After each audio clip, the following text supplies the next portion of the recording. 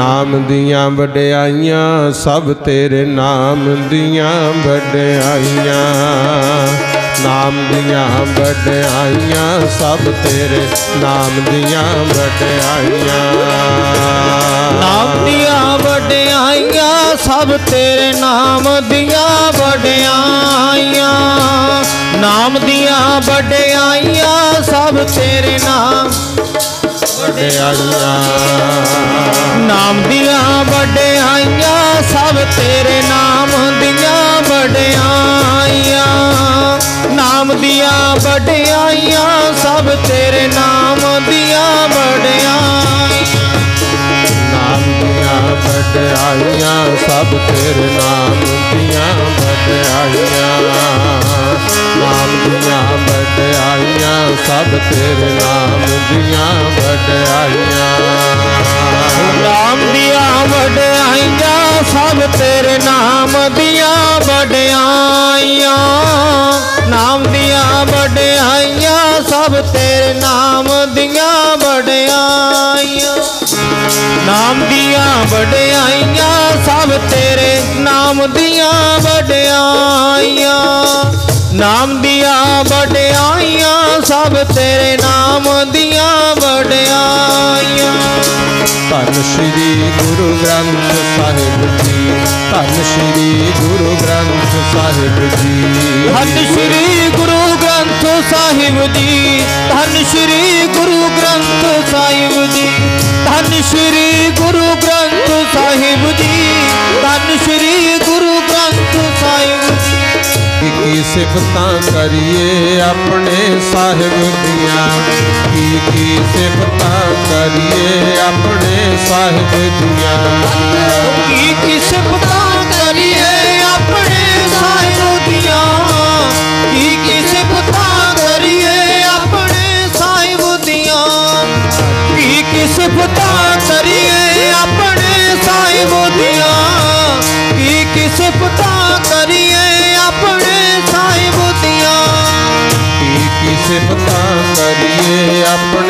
ਸਾਹਿਬ ਦੀਆਂ ਕੀ ਸਿਫਤਾਂ ਕਰੀਏ ਆਪਣੇ ਸਾਹਿਬ ਦੀਆਂ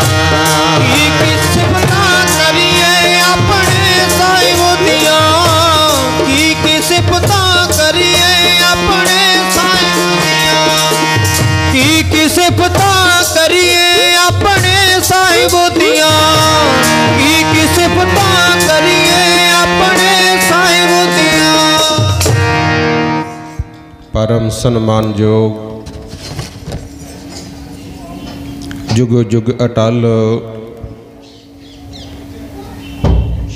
ਸ੍ਰੀ ਗੁਰੂ ਗ੍ਰੰਥ ਸਾਹਿਬ ਪਾਤਸ਼ਾਹ ਦੀ ਪਾਵਨ ਔਰ ਪਵਿੱਤਰ ਹਜ਼ੂਰੀ ਵਿੱਚ ਜਿੰਨੀ ਵੀ ਸੰਗਤ ਬੈਠ ਕਰਕੇ ਹਾਜ਼ਰੀ ਭਰ ਰਹੇ ਹੋ, ਆਓ ਸਭ ਤੋਂ ਪਹਿਲਾਂ ਸਤਿਗੁਰੂ ਜੀ ਦੀ ਬਖਸ਼ਿਸ਼ ਦੁਹਰਾਈਏ। ਪਿਆਰ, ਸਤਕਾਰ ਔਰ ਸ਼ਰਧਾ ਦੇ ਨਾਲ ਸਭ ਮਾਈ ਭਾਈ। ਦੋਵੇਂ ਹੱਥ ਜੋੜ ਕੇ ਗੁਰੂ ਗ੍ਰੰਥ ਸਾਹਿਬ ਪਾਤਸ਼ਾਹ ਨੂੰ ਸੀਸ ਝੁਕਾ ਕੇ ਫਤਿਹ ਬੁਲਾਓ। ਪਿਆਰ ਨਾਲ ਆਖੋ ਜੀ, ਵਾਹਿਗੁਰੂ ਜੀ ਕਾ ਖਾਲਸਾ। ਵਾਹਿਗੁਰੂ ਜੀ ਕੀ ਫਤਿਹ। ਸਤਿਗੁਰੂ ਜੀ ਦੀ ਪਾਵਨ ਬਾਣੀ ਦੇ ਸ਼ਬਦ ਕੀਰਤਨ ਆਪਾਂ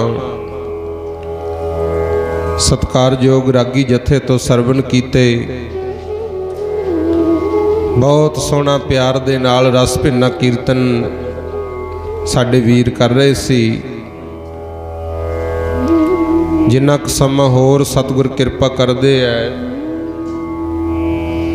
ਆਪਾਂ ਵੀ ਰਲ ਮਿਲ ਕਰਕੇ ਪਿਆਰ ਸਤਕਾਰ ਨਾਲ ਹਾਜ਼ਰੀ ਭਰਨੀ ਹੈ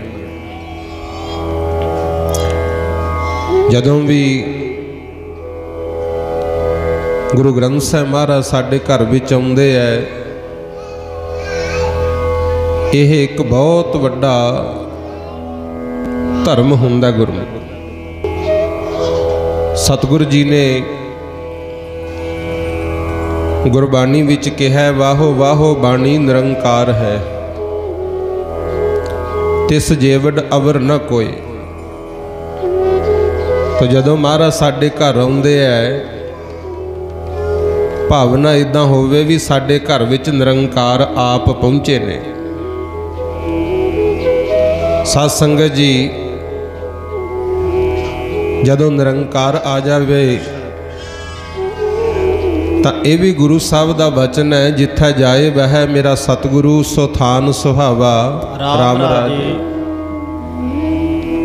ਜਗਾ ਭਾਵੇਂ ਕੋਈ ਘਰ ਹੈ ਭਾਵੇਂ ਗੁਰੂ ਘਰ ਹੈ, ਭਾਵੇਂ ਖੁੱਲੇ ਪੰਡਾਲ ਵਿੱਚ ਸਮਾਗਮ ਹੋਵੇ, ਜਿੱਥੇ ਸਤਿਗੁਰੂ ਜੀ ਜਾ ਕੇ ਬਿਰਾਜਮਾਨ ਹੋ ਜਾਣ, ਉਹ ਥਾਂ ਸੋਭਾ ਵਾਲੀ ਹੋ ਜਾਂਦੀ।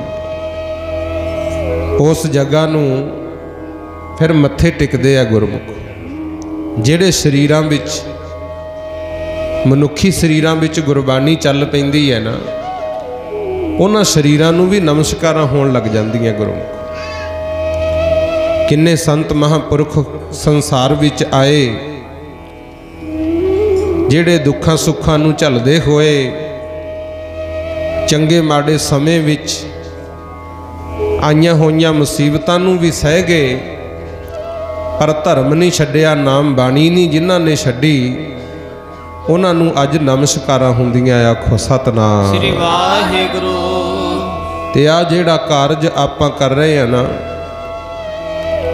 ਇਹਦੇ ਬਾਰੇ ਭਾਈ ਗੁਰਦਾਸ ਜੀ ਕੁਝ ਬਚਨ ਲਿਖਦੇ ਆ ਆਓ ਰਲ ਮਿਲ ਕਰਕੇ ਭਾਈ ਗੁਰਦਾਸ ਜੀ ਦੀ ਵਿਚਾਰ ਆਪਾਂ ਸਾਂਝੀ ਕਰੀਏ। ਜਦੋਂ ਸ੍ਰੀ ਅਖੰਡ ਪਾਠ ਜਾਂ ਸਹਿਜ ਪਾਠ ਪ੍ਰਕਾਸ਼ ਹੁੰਦਾ ਹੈ ਨਾਲੇ ਤਾਂ ਗੁਰਮੁਖੋਂ ਨਾਮ ਬਾਣੀ ਦਾ ਪ੍ਰਵਾਹ ਚੱਲਦਾ ਹੈ ਨਾਲੇ ਗੁਰਸਿੱਖਾਂ ਦੀ ਸੇਵਾ ਹੁੰਦੀ ਹੈ ਸ਼ਰਧਾ ਨਾਲ ਇਸ਼ਨਾਨ ਕਰਾਉਨੇ ਹੋ, ਭੋਜਨ ਪ੍ਰਸ਼ਾਦਾ ਛਕਾਉਨੇ ਹੋ। ਇਹਦਾ ਫਲ ਭਾਈ ਗੁਰਦਾਸ ਜੀ ਦੱਸ ਰਹੇ ਹਨ। ਲਓ ਧਿਆਨ ਨਾਲ ਭਾਈ ਗੁਰਦਾਸ ਜੀ ਤੋਂ ਪਹਿਲਾਂ ਸੁਣੋ ਕਿੱਡਾ ਵੱਡਾ ਫਲ ਹੈ। ਪੰਜ ਬਾਰ ਗੰਗ ਜਾਏ, ਬਾਰ ਪੰਜ ਪ੍ਰਾਗ ਨਾਏ। ਤੈਸਾ ਪੁੰਨ ਏਕ ਗੁਰ ਸਿੱਖ ਕੋ ਨਿਭਾਏ ਕਾ। ਆ ਦੇਖੋ ਮਹਾਰਾਜ ਕਹਿੰਦੇ, ਕੋਈ ਪੰਜ ਵਾਰ ਗੰਗਾ ਤੇ ਜਾ ਕੇ ਇਸ਼ਨਾਨ ਕਰ ਆਵੇ ਪੰਜ ਵਾਰ ਕੋਈ ਪ੍ਰਾਗਰਾਜ ਤੀਰਥ ਤੇ ਜਾ ਕੇ ਇਸ਼ਨਾਨ ਕਰ ਆਵੇ ਜਿੰਨਾ ਉਹਨਾਂ ਨੂੰ ਫਲ ਮਿਲਣਾ ਹੈ, ਪਾਤਸ਼ਾਹ ਕਹਿੰਦੇ ਉਨਾ ਹੀ ਫਲ ਮਿਲ ਜੂਗਾ। ਇੱਕ ਗੁਰਸਿੱਖ ਦਾ ਸ਼ਰਧਾ ਨਾਲ ਇਸ਼ਨਾਨ ਕਰਾਈ, ਭਾਵਨਾ ਦੇ ਨਾਲ। ਕੋਈ ਦਿਖਾਵਾ ਨਹੀਂ ਬਣਾਈਦਾ। ਕੋਈ ਮਜਬੂਰੀ ਬਸ ਨਹੀਂ ਕਰਾਈਦਾ। ਜਿਹੜੇ ਸ਼ਰਧਾ ਭਾਵਨਾ ਦੇ ਨਾਲ ਇੱਕ ਗੁਰਸਿੱਖ ਦਾ ਇਸ਼ਨਾਨ ਕਰਾਉਣ, ਉਹਨਾਂ ਨੂੰ ਇੰਨਾ ਫਲ ਮਿਲਦਾ ਜਿੰਨਾ ਪੰਜ ਵਾਰ ਕੋਈ ਗੰਗਾ ਤੇ ਜਾ ਕੇ ਇਸ਼ਨਾਨ ਕਰਿਆਵੇ ਤੇ ਪੰਜ ਵਾਰ ਪ੍ਰਾਗਰਾਜ ਤੀਰਥ ਤੇ ਜਾ ਕੇ ਇਸ਼ਨਾਨ ਕਰੇ। ਸਿੱਖ ਕੋ ਪਿਲਾਏ ਪਾਣੀ, ਭਾਉ ਕਰ ਕੁਰ ਖੇਤ ਅਸਵ ਮੇਦ ਜਗ ਫਲ, ਸਿੱਖ ਕੋ ਜਿਵਾਏ ਕਾ। ਦੇਖੋ ਮਹਾਰਾਜ ਕਹਿੰਦੇ, ਗੁਰੂ ਦਾ ਜਿਹੜਾ ਸਿੱਖ ਹੈ ਨਾ, ਨਾਮ ਬਾਣੀ ਨਾਲ ਜੁੜਿਆ ਹੋਇਆ, ਉਹਨੂੰ ਭਾਵਨਾ ਦੇ ਨਾਲ ਖੁਸ਼ ਹੋ ਕੇ ਸ਼ਰਧਾ ਨਾਲ ਪਾਣੀ ਵੀ ਪਿਲਾ ਦੇਵੇ। ਇੰਨਾ ਫਲ ਮਿਲੂ ਜਿਵੇਂ ਕੁਰਸ਼ੇਤਰ ਜਾ ਕੇ ਦੁਨੀਆ ਇਸ਼ਨਾਨ ਕਰੇ ਆਉਂਦੀ ਹੈ। ਕੁਰਸ਼ੇਤਰ ਹਿੰਦੂਆਂ ਦਾ ਵੱਡਾ ਤੀਰਥ ਹੈ ਗੁਰਮੁਖ। ਜਿਹੇ ਜਾ ਉੱਥੇ ਜਾ ਕੇ ਇਸ਼ਨਾਨ ਕਰੇ ਆਵੇ, ਜਿੰਨਾ ਉਹਨੂੰ ਫਲ ਮਿਲੂ ਉਨਾ ਹੀ ਇੱਕ ਗੁਰੂ ਦੇ ਸਿੱਖ ਨੂੰ ਪਾਣੀ ਪਿਲਾਉਣ ਦਾ ਫਲ ਮਿਲਦਾ ਹੈ। ਸ਼ਰਧਾ ਨਾਲ ਜੇ ਕੋਈ ਪ੍ਰਸ਼ਾਦ ਛਕਾਵੇ, ਗੁਰੂ ਦੇ ਸਿੱਖ ਨੂੰ ਭੋਜਨ ਪ੍ਰਸ਼ਾਦਾ ਛਕਾਉਂਦੇ ਹੋ ਨਾ ਪ੍ਰੇਮ ਨਾਲ, ਇਹਦਾ ਫਲ ਕਹਿੰਦੇ ਐਡਾ ਵੱਡਾ ਜਿਹੇ ਜਾਂ ਕੋਈ ਅਸਵਮੇਧ ਜੱਗ ਕਰੇ। ਅਸਮੇਧ ਜਗ ਕੀ ਹੁੰਦਾ ਹੈ? ਲੰਗਰ ਚੱਲਦੇ ਆ, ਭੋਜਨ ਪਦਾਰਥ ਬਹੁਤ ਤਿਆਰ ਕਰਦੇ ਆ, ਹਿੰਦੂਆਂ ਦਾ ਕੰਮ ਹੈ ਇਹ। ਤੇ ਉਦੋਂ ਫਿਰ ਘੋੜੇ ਦੀ ਬਲੀ ਦਿੱਤੀ ਜਾਂਦੀ ਹੈ ਉਹਨੂੰ ਕਹਿੰਦੇ ਸੀ ਅਸਮੇਧ ਜੱਗ। ਜਿੰਨਾ ਉਹਨਾਂ ਨੂੰ ਫਲ ਮਿਲਦਾ, ਉਹਨਾਂ ਦੇ ਧਰਮ ਮੁਤਾਬਕ ਪਾਤਸ਼ਾਹ ਕਹਿੰਦੇ, ਕਿਸੇ ਪੂਰਨ ਗੁਰਸਿੱਖ ਨੂੰ ਸ਼ਰਧਾ ਨਾਲ ਪ੍ਰਸ਼ਾਦਾ ਛਕਾ ਦੀ ਤੈਨੂੰ ਵੀ ਓਨਾ ਹੀ ਫਲ ਮਿਲ ਜੂ ਆਖੋ ਸਤਨਾਮ। ਸ੍ਰੀ ਵਾਹਿਗੁਰੂ। ਅੱਗੇ ਸਤਿਗੁਰੂ ਜੀ ਫੇਰ ਬਚਨ ਕਰ ਰਹੇ ਹਨ। ਜੈਸੇ ਸਤ ਮੰਦਰ ਕੰਚਨ ਕੇ ਉਸਾਰ ਦੀਨੇ ਤੈਸਾ ਪੁੰਨ ਸਿੱਖ ਕੋ ਇੱਕ ਸ਼ਬਦ ਸਿਖਾਏਗਾ। ਕਹਿੰਦੇ 100 ਮੰਦਰ ਕੋਈ ਸਿਉਨੇ ਦਾ ਬਣਾ ਕੇ ਦਾਨ ਕਰਦੇ ਗੁਰੂ। ਤੁਸੀਂ ਘਰ ਬਣਾਉਨੇ ਹੋ ਗ੍ਰਸਤੀ ਬੈਠੇ ਹੋ ਘਰ ਬਣਾਉਣਾ ਸੌਖਾ ਕਿਤੇ ਗੁਰੂ? ਕਹਿੰਦੇ ਇਦਾਂ ਦਾ 100 ਮੰਦਰ ਸਿਉਨੇ ਦਾ ਬਣਾ ਕੇ ਦਾਨ ਕਰੇ ਕੋਈ ਜਿੰਨਾ ਉਹਨੂੰ ਫਲ ਮਿਲੂਗਾ।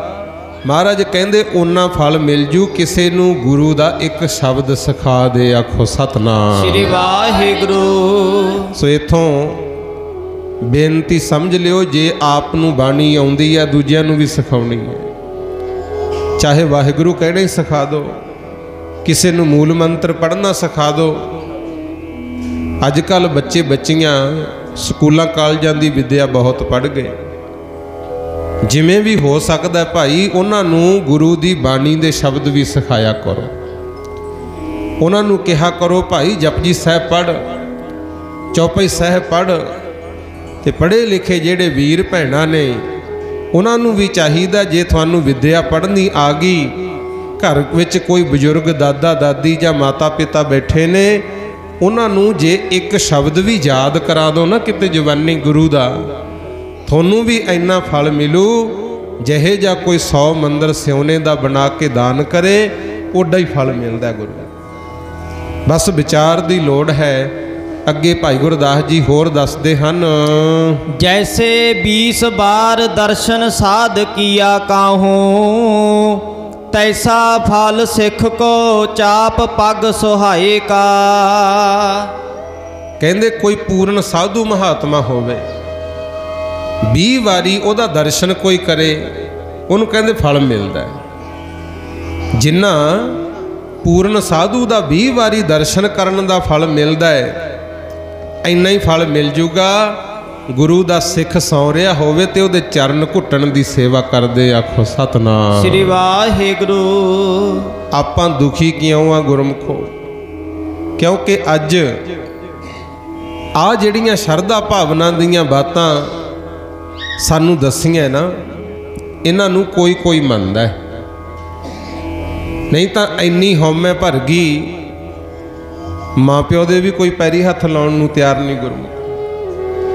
ਵੱਡਿਆਂ ਦਾ ਅਸੀਂ ਭੁੱਲ ਗਏ ਸਤਕਾਰ ਤੇ ਸਤਿਗੁਰੂ ਸੱਚੇ ਪਾਤਸ਼ਾਹ ਨੇ ਸਾਨੂੰ ਫਿਰ ਇਹ ਬਚਨ ਜਿਹੜੇ ਕਹੇ ਨੇ, ਜਿਹੜੇ ਜਿਹੜੇ ਮੰਨ ਲੈਣ, ਉਹਨਾਂ ਦਾ ਬੇੜਾ ਮਹਾਰਾਜ ਆਪ ਬੰਨੇ ਲਾਉਂਦੇ ਆ ਗੁਰੂ ਜੇ ਤੁਹਾਨੂੰ ਲੱਗੇ ਵੀ ਇਹ ਗੱਲਾਂ ਐਵੇਂ ਬਣਾਈਆਂ, ਤਾਂ ਤੁਹਾਡੇ ਸਾਹਮਣੇ ਕੁਝ ਉਦਾਹਰਨਾਂ ਦੇਣ ਲੱਗਿਆ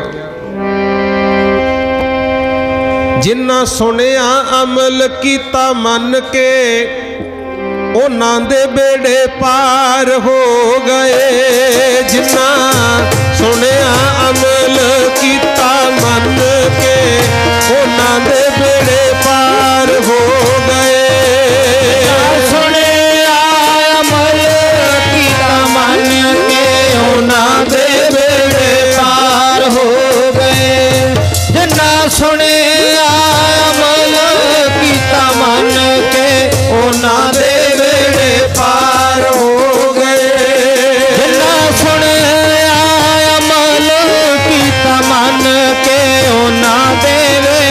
ਬੇੜੇ ਪਾਰ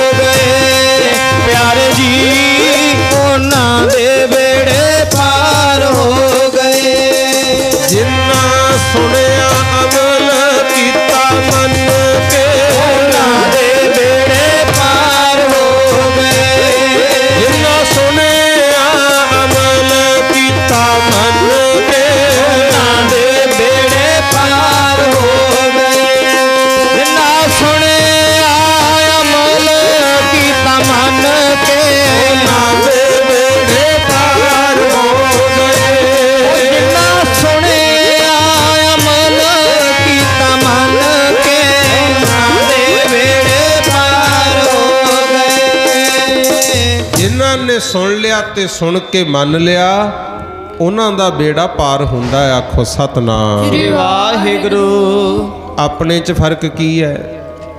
ਆਪਾਂ ਪੜ੍ਹਦੇ ਬਹੁਤ ਹਾਂ ਸੁਣਦੇ ਬਹੁਤ ਹਾਂ ਪਰ ਆਪ ਪ੍ਰੈਕਟੀਕਲ ਨਹੀਂ ਕਰਦੇ ਗੁਰੂ।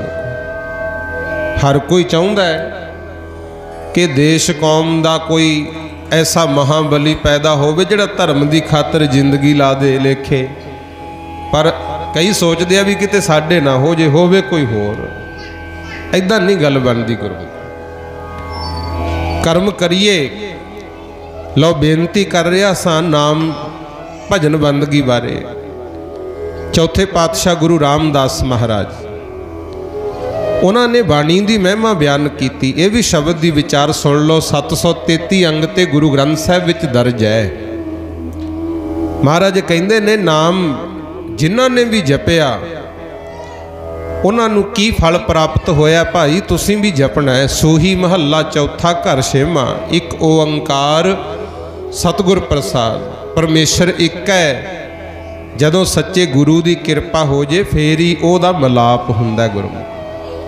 ਲਓ ਸੁਣੋ, ਧੰਨ ਗੁਰੂ ਰਾਮਦਾਸ ਮਹਾਰਾਜ, ਸਾਡੇ ਸਾਹਮਣੇ ਕੁਝ ਉਦਾਹਰਨਾਂ ਪੇਸ਼ ਕਰਦੇ ਨੇ। ਕਿ ਨਾਮ ਜਪਣ ਦਾ ਕਿੱਡਾ ਵੱਡਾ ਫਲ ਹੈ। ਨੀਚ ਜਾਤ ਹਰ ਜਪਤਿਆਂ ਉਤਮ ਪਦਵੀ ਪਾਏ। ਮਹਾਰਾਜ ਕਹਿੰਦੇ ਭਾਵੇਂ ਕੋਈ ਨੀਚ ਜਾਤੀ ਦਾ ਵੀ ਹੋਵੇ ਜਿਹੜਾ ਵਾਹਿਗੁਰੂ ਦਾ ਨਾਮ ਜਪਣ ਲੱਗ ਜੇ ਉਹਨੂੰ ਬਹੁਤ ਉੱਚਾ ਦਰਜਾ ਪ੍ਰਾਪਤ ਹੁੰਦਾ ਹੈ। ਇੱਥੇ ਤਾਂ ਆਪਾਂ ਕਹਿੰਦੇ ਆ ਸਾਨੂੰ ਕੋਈ ਪੁੱਛਦਾ ਨਹੀਂ ਕਦਰ ਨਹੀਂ ਪੈਂਦੀ। ਪੜ੍ਹੇ ਲਿਖੇ ਬੱਚੇ ਫਿਰਦੇ ਆ ਨੌਕਰੀਆਂ ਨਹੀਂ ਮਿਲਦੀਆਂ। ਰੱਬ ਨਹੀਂ ਸਾਡੀ ਸੁਣਦਾ ਪਰ ਮਹਾਰਾਜ ਸੁਣਦੇ ਐ। ਜਿਹੜਾ ਪ੍ਰਮਾਤਮਾ ਦਾ ਨਾਮ ਜਪੇ ਉਹਨੂੰ ਗੁਰਮਖੋ ਉੱਚਾ ਦਰਜਾ ਪ੍ਰਾਪਤ ਹੁੰਦਾ ਹੈ। ਪੁੱਛੋ ਬਿਦਰ ਦਾਸੀ ਸੁਤੈ ਕਿਸ਼ਨ ਉਤਰਿਆ ਘਰ ਜਿਸ ਜਾਏ। ਕਹਿੰਦੇ ਜਾ ਕੇ ਪੁੱਛੋ ਬਿਦਰ ਦੇ ਪਰਿਵਾਰ ਨੂੰ ਦਾਸੀ ਦਾ ਪੁੱਤਰ ਸਮਝ ਕੇ ਦੁਰਯੋਧਨ ਵਰਗੇ ਉਹ ਤੋਂ ਨਫ਼ਰਤ ਕਰਦੇ ਸੀ। ਪਰ ਦੁਆਪਰ ਯੁੱਗ ਦੇ ਅਵਤਾਰ ਸ੍ਰੀ ਕ੍ਰਿਸ਼ਨ ਜੀ ਜਦੋਂ ਇਸ ਜਹਾਨ ਵਿੱਚ ਪੈਦਾ ਹੋਏ, ਤਾਂ ਦੁਰਯੋਧਨ ਦੇ ਮਹਿਲਾਂ ਚ ਨਹੀਂ ਗਏ। ਜਾ ਕੇ ਬਿਦਰ ਦੇ ਘਰ ਨੂੰ ਭਾਗ ਲਾਏ। ਉਹਦੇ ਘਰ ਦਾ ਅਲੂਣਾ ਸਾਗ ਖਾਦਾ ਬਿਦਰ ਦੇ ਘਰ ਵਾਲੀ ਨੂੰ ਬਿਦਰ ਨੇ ਕੇਲੇ ਲਿਆਤੇ। ਕਹਿੰਦੇ, ਸ੍ਰੀ ਕ੍ਰਿਸ਼ਨ ਜੀ ਆਏ ਨੇ, ਇਹਨਾਂ ਨੂੰ ਫਲ ਛਕਾ ਦੇ। ਉਹ ਪ੍ਰੇਮ ਵਸ ਇੰਨੀ ਮਸਤ ਹੋ ਗਈ ਜਿਹੜੀ ਖਾਣ ਵਾਲੀ ਗੁੱਦ ਸੀ ਉਹ ਤਾਂ ਸਿੱਟੀ ਜਾਵੇ ਤੇ ਸਿਲਕੇ ਸ੍ਰੀ ਕ੍ਰਿਸ਼ਨ ਨੂੰ ਫੜਾਈ ਜਾਵੇ। ਤੇ ਸ੍ਰੀ ਕ੍ਰਿਸ਼ਨ ਜੀ ਵੀ ਬੈਠੇ ਕੇਲਿਆਂ ਦੇ ਛਿਲਕੇ ਖੁਸ਼ ਹੋ ਕੇ ਖਾਈ ਗਏ ਆਖੋ ਸਤਨਾਮ। ਸ੍ਰੀ ਵਾਹਿਗੁਰੂ। ਇਹ ਪਹਿਲੀ ਉਦਾਹਰਣ ਦਿੱਤੀ ਅੱਗੇ ਗੁਰੂ ਰਾਮਦਾਸ ਮਹਾਰਾਜ ਫੇਰ ਕਹਿੰਦੇ ਹਨ ਹਰ ਕੀ ਅਕਥ ਕਥਾ ਸੁਣੋ ਜਨ ਭਾਈ ਜਿਤ ਸਹਸਾ ਦੁਖ ਭੂਖ ਸਭ ਲਹਿ ਜਾਏ। ਕਹਿੰਦੇ ਜਿਹੜੀ ਗੱਲ ਤੁਹਾਨੂੰ ਅਸੀਂ ਦੱਸ ਰਹੇ ਆ ਨਾ, ਇਹ ਉਸ ਵਾਹਿਗੁਰੂ ਦੀ ਅਕਥ ਕਥਾ ਹੈ, ਜਿਹਦੇ ਬਾਰੇ ਕੋਈ ਬਿਆਨ ਨਹੀਂ ਕਰ ਸਕਿਆ ਪੂਰਾ। ਜਿੰਨਾ ਕਿ ਕਿਸੇ ਨੇ ਜਾਣਿਆ, ਉਦੋਂ ਕਈ ਗੁਣਾ ਹੋਰ ਪਤਾ ਲੱਗਿਆ ਵੀ ਹਜੇ ਤਾਂ ਹੋਰ ਬਹੁਤ ਹੈ। ਮਹਾਰਾਜ ਕਹਿੰਦੇ, ਜਿਹੜਾ ਵੀ ਪ੍ਰਮਾਤਮਾ ਦੀ ਕਥਾ ਸੁਣਦਾ ਹੈ, ਉਹਦੇ ਨਾਮ ਜਪਣ ਲੱਗ ਜਾਵੇ ਉਹਦਾ ਦੁੱਖ ਵੀ ਦੂਰ, ਉਹਦੀ ਭੁੱਖ ਵੀ ਖਤਮ। ਕਿਸੇ ਵੀ ਤਰ੍ਹਾਂ ਦਾ ਸ਼ੰਕਾ, ਚਿੰਤਾ ਕਰਨ ਦੀ ਲੋੜ ਨਹੀਂ। ਮਾਲਕ ਆਪਣੇ ਸੇਵਕਾਂ ਦੇ ਕਾਰਜ ਆਪ ਸਵਾਰਦਾ ਹੈ। ਅੱਗੇ ਗੁਰੂ ਜੀ ਨੇ ਉਦਾਹਰਨਾਂ ਦਿੱਤੀਆਂ। ਲਓ ਸੁਣੋ ਮਹਾਰਾਜ, ਫੇਰ ਕਹਿੰਦੇ ਹਨ, ਰਹਾਓ ਰਵਿਦਾਸ ਚਮਾਰ ਉਸਤਤ ਕਰੇ, ਹਰ ਕੀਰਤ ਨਿਮਖ ਇੱਕ ਗਾਏ। ਹੁਣ ਜਿਨ੍ਹਾਂ ਨੂੰ ਰਵਿਦਾਸੀਏ ਸਿੱਖ ਆਖਿਆ ਜਾਂਦਾ ਹੈ ਨਾ, ਪਹਿਲਾਂ ਲੋਕ ਚਮਾਰ ਕਹਿੰਦੇ ਹੁੰਦੇ ਸੀ। ਸਤਿਗੁਰੂ ਰਵਿਦਾਸ ਮਹਾਰਾਜ ਦੀ ਉਦਾਹਰਣ ਦਿੱਤੀ ਹੈ। 1376 ਈਸਵੀ ਵਿੱਚ ਗੁਰੂ ਰਵਿਦਾਸ ਮਹਾਰਾਜ ਪ੍ਰਗਟ ਹੋਏ ਹੈ। ਗੁਰੂ ਨਾਨਕ ਸਾਹਿਬ ਤੋਂ ਪਹਿਲਾਂ ਹੋਏ ਨੇ। ਉਦੋਂ ਗੁਰਮਖੋ ਉਹਨਾਂ ਨੂੰ ਕੰਮ ਦਿੱਤਾ ਸੀ, ਚਮਾਰ ਜਾਤੀ ਨੂੰ ਵੀ ਮਰੇ ਹੋਏ ਪਸ਼ੂ ਚੱਕਣੇ ਆ ਉਹਨਾਂ ਦੀਆਂ ਖੱਲਾਂ ਲਾਉਣੀਆਂ। ਜੋੜਾ ਜੁੱਤੀ ਤਿਆਰ ਕਰਨਾ ਚਮੜੇ ਦਾ ਕਾਰੋਬਾਰ। ਤੇ ਹੁਣ ਇੱਥੇ ਚਟਕਈ ਕਈ ਕੰਮ ਕਰਦੇ ਆ ਉਹਨਾਂ ਦੇ ਹੱਥੋਂ ਕੋਈ ਲੈ ਕੇ ਖਾਣ ਨੂੰ ਤਿਆਰ ਨਹੀਂ ਹੁੰਦਾ। ਤੇ ਉਹਨਾਂ ਨੂੰ ਨਾ ਤਾਂ ਵਿਦਿਆ ਪੜਨ ਦਾ ਹੱਕ ਸੀ, ਨਾ ਧਰਮ ਸਥਾਨ ਤੇ ਜਾ ਸਕਦੇ ਸੀ। ਨੀਚ ਸਮਝ ਕੇ ਫਟਕਾਰਿਆ ਜਾਂਦਾ ਸੀ। ਦੁਨੀਆ ਪਾਸਾ ਕਰਕੇ ਲੰਘਦੀ ਸੀ, ਪਰ ਉਹ ਲੱਗ ਗਏ ਭਾਈ ਨਾਮ ਜਪਣ। ਗੁਰੂ ਰਾਮਦਾਸ ਮਹਾਰਾਜ ਕਹਿੰਦੇ, ਉਸਤਤੀ ਕੀਤੀ ਪ੍ਰਮਾਤਮਾ ਦੀ। ਗੁਰੂ ਰਵਿਦਾਸ ਜੀ ਦਾ ਜੀਵਨ ਪੜ੍ਹ ਕੇ ਵੇਖਿਓ ਕਿਤੇ। ਹਾਲਾਂਕਿ ਉਸ ਵੇਲੇ ਉੱਚ ਜਾਤੀ ਦੇ ਲੋਕ ਉਹਨਾਂ ਦਾ ਵਿਰੋਧ ਕਰਦੇ ਰਹੇ। ਗੁਰੂ ਰਵਿਦਾਸ ਜੀ ਨੇ ਉਹਨਾਂ ਬਾਰੇ ਕੁਝ ਵੀ ਨਹੀਂ ਕਿਹਾ ਗੁਰੂ ਨਹੀਂ ਤਾਂ ਅਗਲਾ ਵਿਰੋਧ 'ਚ ਕੁਛ ਨਾ ਕੁਛ ਕਹਿੰਦਾ ਹੈ। ਕਿਸੇ ਨੂੰ ਮਾੜਾ ਨਹੀਂ ਕਿਹਾ, ਕਿਸੇ ਨੂੰ ਕੋਈ ਮੰਦੇ ਸ਼ਬਦ ਨਹੀਂ ਬੋਲੇ। ਸਗੋਂ ਜੇ ਕਿਤੇ ਜਾ ਕੇ ਸ਼ਿਕਾਇਤ ਵੀ ਕਰਦੇ ਸੀ ਨਾ, ਜਿਵੇਂ ਸਿਕੰਦਰ ਲੋਧੀ ਕੋਲੇ ਸ਼ਿਕਾਇਤ ਕੀਤੀ ਸੀ, ਤਾਂ ਗੁਰੂ ਰਵਿਦਾਸ ਜੀ ਨੇ ਆਪਣਾ ਪੱਖ ਦੱਸਿਆ, ਪਰ ਬ੍ਰਾਹਮਣਾਂ ਦੇ ਵਿਰੋਧ 'ਚ ਕੁਝ ਨਹੀਂ ਕਿਹਾ ਗੁਰੂ ਤਾਂ ਗੁਰੂ ਰਾਮਦਾਸ ਕਹਿੰਦੇ ਨੇ, ਕਹਿੰਦੇ ਉਹਨਾਂ ਨੇ ਅਕਾਲ ਪੁਰਖ ਵਾਹਿਗੁਰੂ ਦੀ ਉਸਤਤ ਕੀਤੀ। ਕਿਸੇ ਦਾ ਮਾੜਾ ਨਹੀਂ ਕੀਤਾ, ਕਿਸੇ ਬਾਰੇ ਮਾੜਾ ਸੋਚਿਆ ਨਹੀਂ। ਹਰ ਕੀਰਤ ਨਿਮਖ ਇੱਕ ਗਾਏ ਇੱਕ ਨਿਮਖ ਮਾਤਰ ਵੀ। ਸਵਾਸ ਅਜਾਈ ਨਹੀਂ ਜਾਣ ਦਿੱਤੇ ਕੰਮ ਭਾਵੇਂ ਚਮੜੇ ਦਾ ਹੀ ਕਰਦੇ ਸੀ ਪਰ ਪ੍ਰਮਾਤਮਾ ਦਾ ਨਾਮ ਜਪਦੇ ਰਹਿੰਦੇ। ਫਿਰ ਉਹਦਾ ਫਲ ਕੀ ਮਿਲਿਆ? ਉਹ ਪਾਤਸ਼ਾਹ ਅੱਗੇ ਦੱਸਦੇ ਹਨ। ਪਤਿਤ ਜਾਤ ਉੱਤਮ ਭਇਆ ਚਾਰ ਵਰਨ ਪਏ ਪਗ ਆਏ। ਕਹਿੰਦੇ ਭਾਵੇਂ ਉਦੋਂ ਕਹਿੰਦੇ ਸੀ ਵੀ ਇਹ ਨੀਚ ਜਾਤੀ ਹੈ ਡਿੱਗੀ ਹੋਈ ਜਾਤੀ ਹੈ। ਪਰ ਨਾਮ ਜਪਣ ਦਾ ਫਲ ਇਹ ਮਿਲਿਆ ਨੀਵੀਂ ਜਾਤੀ ਚੋਂ ਵੀ ਸਤਿਗੁਰੂ ਰਵਿਦਾਸ ਮਹਾਰਾਜ ਉੱਚੇ ਹੋ ਗਏ। ਐਸੀ ਵਡਿਆਈ ਮਿਲੀ ਖੱਤਰੀ ਬ੍ਰਾਹਮਣ ਸ਼ੂਦਰ ਵੈਸ ਚਾਰੇ ਵਰਨ ਆ ਕੇ ਗੁਰੂ ਰਵਿਦਾਸ ਜੀ ਦੇ ਪੈਰੀਂ ਪਏ ਆਖੋ ਸ੍ਰੀ ਸਤਨਾਮ ਵਾਹਿਗੁਰੂ। ਸਿਕੰਦਰ ਲੋਧੀ ਨੇ ਤੁਗਲਕਾ ਬਾਗ ਵਿਖੇ ਗੁਰੂ ਰਵਿਦਾਸ ਜੀ ਨੂੰ ਬੁਲਾ ਕੇ ਸਤਸੰਗ ਕਰਾਇਆ ਸੀ। ਉੱਥੇ ਜਿਹੜੇ ਆ ਮੰਦਿਰ ਦਾ ਪਿੱਛੇ ਰੌਲਾ ਪਿਆ ਨਾ, ਇਹ ਬਾਦਸ਼ਾਹ ਨੇ ਸਤਕਾਰ ਵਜੋਂ ਭੇਟਾ ਕੀਤਾ ਸੀ। ਬਾਦਸ਼ਾਹ ਤੁਗਲਕ ਬਿਨ ਤੋਂ ਤਾਂ ਹੀ ਤੁਗਲਕਾ ਬਾਗ ਨਾਮ ਪਿਆ ਗੁਰੂ ਰਾਜੇ ਮਹਾਰਾਜੇ ਉਹਨਾਂ ਦੇ ਚਰਨੀ ਪੈ ਗਏ। ਇਧਰ ਖੁਰਾਰਗੜ੍ਹ ਸਾਹਿਬ ਵੱਲ ਜਾਂਦੇ ਹੋ, ਗੜ੍ਹ ਸ਼ੰਕਰਵੰਨੀ ਰਾਜਾ ਬੈਨ ਬਹੁਤ ਜ਼ਾਲਮ ਰਾਜਾ ਸੀ। ਸਤਿਗੁਰੂ ਰਵਿਦਾਸ ਮਹਾਰਾਜ ਜੀ ਨੂੰ ਜੇਲ੍ਹ 'ਚ ਬੰਦ ਕਰਤਾ। ਕਹਿੰਦਾ, ਚੱਕੀ ਫੇਰੋ। ਜਿਵੇਂ ਗੁਰੂ ਨਾਨਕ ਜੀ ਦਾ ਇਤਿਹਾਸ ਪੜ੍ਹਦੇ ਆ ਨਾ ਬਾਬਰ ਵੇਲੇ ਮਹਾਰਾਜ ਨੇ ਚੱਕੀਆਂ ਚਲਾਈਆਂ ਉਦੋਂ ਪਹਿਲਾਂ ਸਤਿਗੁਰੂ ਰਵਿਦਾਸ ਮਹਾਰਾਜ ਨੇ ਰਾਜੇ ਬੈਨ ਦੇ ਜੇਲ੍ਹ ਖਾਨੇ 'ਚ ਵੀ ਇਦਾਂ ਹੀ ਚੱਕੀ ਚਲਾਈ ਸੀ ਆਖੋ ਸਤਨਾਮ। ਸ੍ਰੀ ਵਾਹਿਗੁਰੂ। ਰਾਜੇ ਮਹਾਰਾਜੇ ਜਾ ਕੇ ਸਤਿਗੁਰੂ ਰਵਿਦਾਸ ਜੀ ਦੇ ਚਰਨੀ ਪਏ ਸੀ ਗੁਰਮੁਖ। ਇਹ ਕਾਦੀ ਮਹਿਮਾ ਸੀ? ਨਾਮ ਦੀ। ਤੇ ਦੁੱਖ ਇਸ ਗੱਲ ਦਾ ਹੈ ਅੱਜ ਕੱਲ ਗੁਰਮੁਖੋ ਨਾਮ ਜਪਣ ਨੂੰ ਆਪਾਂ ਤਿਆਰ ਨਹੀਂ। ਦਿਖਾਵੇ ਵਜੋਂ ਮਜਬੂਰੀ ਵਸ ਜਾਂ ਮੁੱਲ ਦਾ ਤਾਂ ਬਥੇਰਾ ਕੁਝ ਕਰ ਲਾਂਗੇ। ਚਾਰ ਭਾਈ ਵੇਖਦੇ ਹੋਣ ਉਦੋਂ ਤਾਂ ਜ਼ਰੂਰ ਵਾਹਿਗੁਰੂ ਵਾਹਿਗੁਰੂ ਜਪ ਲਾਂਗੇ। ਸਵਾਦ ਤਾਂ ਤਾਂ ਹੈ, ਜਦੋਂ ਕੱਲਾ ਘਰ ਵਿੱਚ ਉਦੋਂ ਵੀ ਭਜਨ ਕਰਿਆ ਕਰ। ਉਹ ਹੈ ਸੱਚੀ ਹਾਜ਼ਰੀ। ਕਿਤੇ ਇਹ ਦਿਖਾਵਾ ਹੀ ਨਾ ਰਹਿ ਜੇ ਗੁਰਮੁਖੋ। ਧੰਨ ਗੁਰੂ ਰਾਮਦਾਸ ਮਹਾਰਾਜ ਨੇ ਲਿਖਿਆ ਵੀ ਕਹਿੰਦੇ, ਪਤਤ ਜਾਤ ਉੱਤਮ ਭਇਆ ਚਾਰ ਵਰਨ ਪਏ ਪੱਗ ਆਏ। ਗੁਰੂ ਰਵ ਗੁਰੂ ਰਾਮਦਾਸ ਵੇਲੇ ਇੱਕ ਘਟਨਾ ਘਟੀ। ਭਾਈ ਜਰਨੈਲ ਹੋਇਆ ਇੱਕ।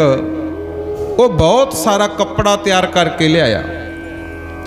ਤੇ ਸਤਿਗੁਰ ਜੀ ਨੂੰ ਭੇਟਾ ਕਰਤਾ ਵੀ ਲਓ ਜੀ, ਲੋੜਵੰਦਾਂ ਨੂੰ ਵੰਡ ਦਿਓ। ਮਹਾਰਾਜ ਕਹਿੰਦੇ, ਇੰਨੇ ਕੱਪੜਾ ਕੌਣ ਲੈ ਕੇ ਆਇਆ? ਵਿੱਚੋਂ ਕੋਈ ਕਹਿੰਦਾ ਜੀ, ਜਰਨੈਲ ਚਮਾਰ ਲੈ ਕੇ ਆਇਆ। ਮਹਾਰਾਜ ਕਹਿੰਦੇ, ਨਹੀਂ ਭਾਈ, ਅੱਜ ਤੋਂ ਜਾਤੀ ਸੂਚਕ ਸ਼ਬਦ ਨਹੀਂ ਸੰਬੋਧਨ ਕਰਨਾ। ਇਹ ਵੀ ਸਾਡੇ ਸਿੱਖ ਨੇ ਇਹਨਾਂ ਨੂੰ ਰਾਮਦਾਸੀਏ ਸਿੱਖ ਕਹਿਣਾ ਤਾਂ ਲਫ਼ਜ਼ ਪਿਆ ਸੀ, ਰਵਦਾਸੀਏ ਜਾਂ ਰਾਮਦਾਸੀਏ? ਤੇ ਇੱਥੇ ਗੁਰੂ ਰਾਮਦਾਸ ਮਹਾਰਾਜ ਕਹਿੰਦੇ ਨੇ, ਨੀਵੀਂ ਜਾਤੀ ਦੇ ਸੀ, ਫਿਰ ਵੀ ਇੰਨਾ ਉੱਚਾ ਰੁਤਬਾ ਪ੍ਰਾਪਤ ਹੋਇਆ। ਤੁਹਾਨੂੰ ਪਤਾ ਹੈ, ਗੁਰੂ ਗੋਬਿੰਦ ਸਿੰਘ ਮਹਾਰਾਜ ਨੇ ਆਪਣੇ ਸਿਰ ਦਾ ਤਾਜ ਕਲੰਗੀ ਜੇ ਕਿਸੇ ਨੂੰ ਬਖਸ਼ੀ, ਉਹ ਵੀ ਰਵਦਾਸੀਆ ਸਿੱਖ ਬਾਬਾ ਸੰਗਤ ਸਿੰਘ ਜੀ ਹੋਏ ਨੇ। ਜਿਨ੍ਹਾਂ ਦੇ ਸਿਰ ਤੇ ਮਹਾਰਾਜ ਨੇ ਤਾਜ ਧਰਿਆ ਆਪਣਾ ਪੋਸ਼ਾਕਾ ਉਹਨਾਂ ਨੂੰ ਪਹਿਨਾ ਕੇ ਬਚਨ ਕੀਤਾ ਸੀ ਚਮਕੌਰ ਦੀ ਗੜੀ ਚੋਂ ਜਦੋਂ ਨਿਕਲਣ ਲੱਗੇ ਸੀ। ਕਹਿੰਦੇ ਨੇ ਕਲੰਗੀ ਜਿਗਾ ਤੇ ਰੇਸ਼ਮੀ ਬਾਣਾ ਸੰਪਿਆ ਸੰਗਤ ਸਿੰਘ ਨੂੰ। ਕਲੰਗੀ ਜਿਗਾ ਤੇ ਰੇਸ਼ਮੀ ਬਾਣਾ ਸੰਪਿਆ ਸੰਗਤ ਸਿੰਘ ਨੂੰ। ਕਲਗੀ ਦਿਗਾ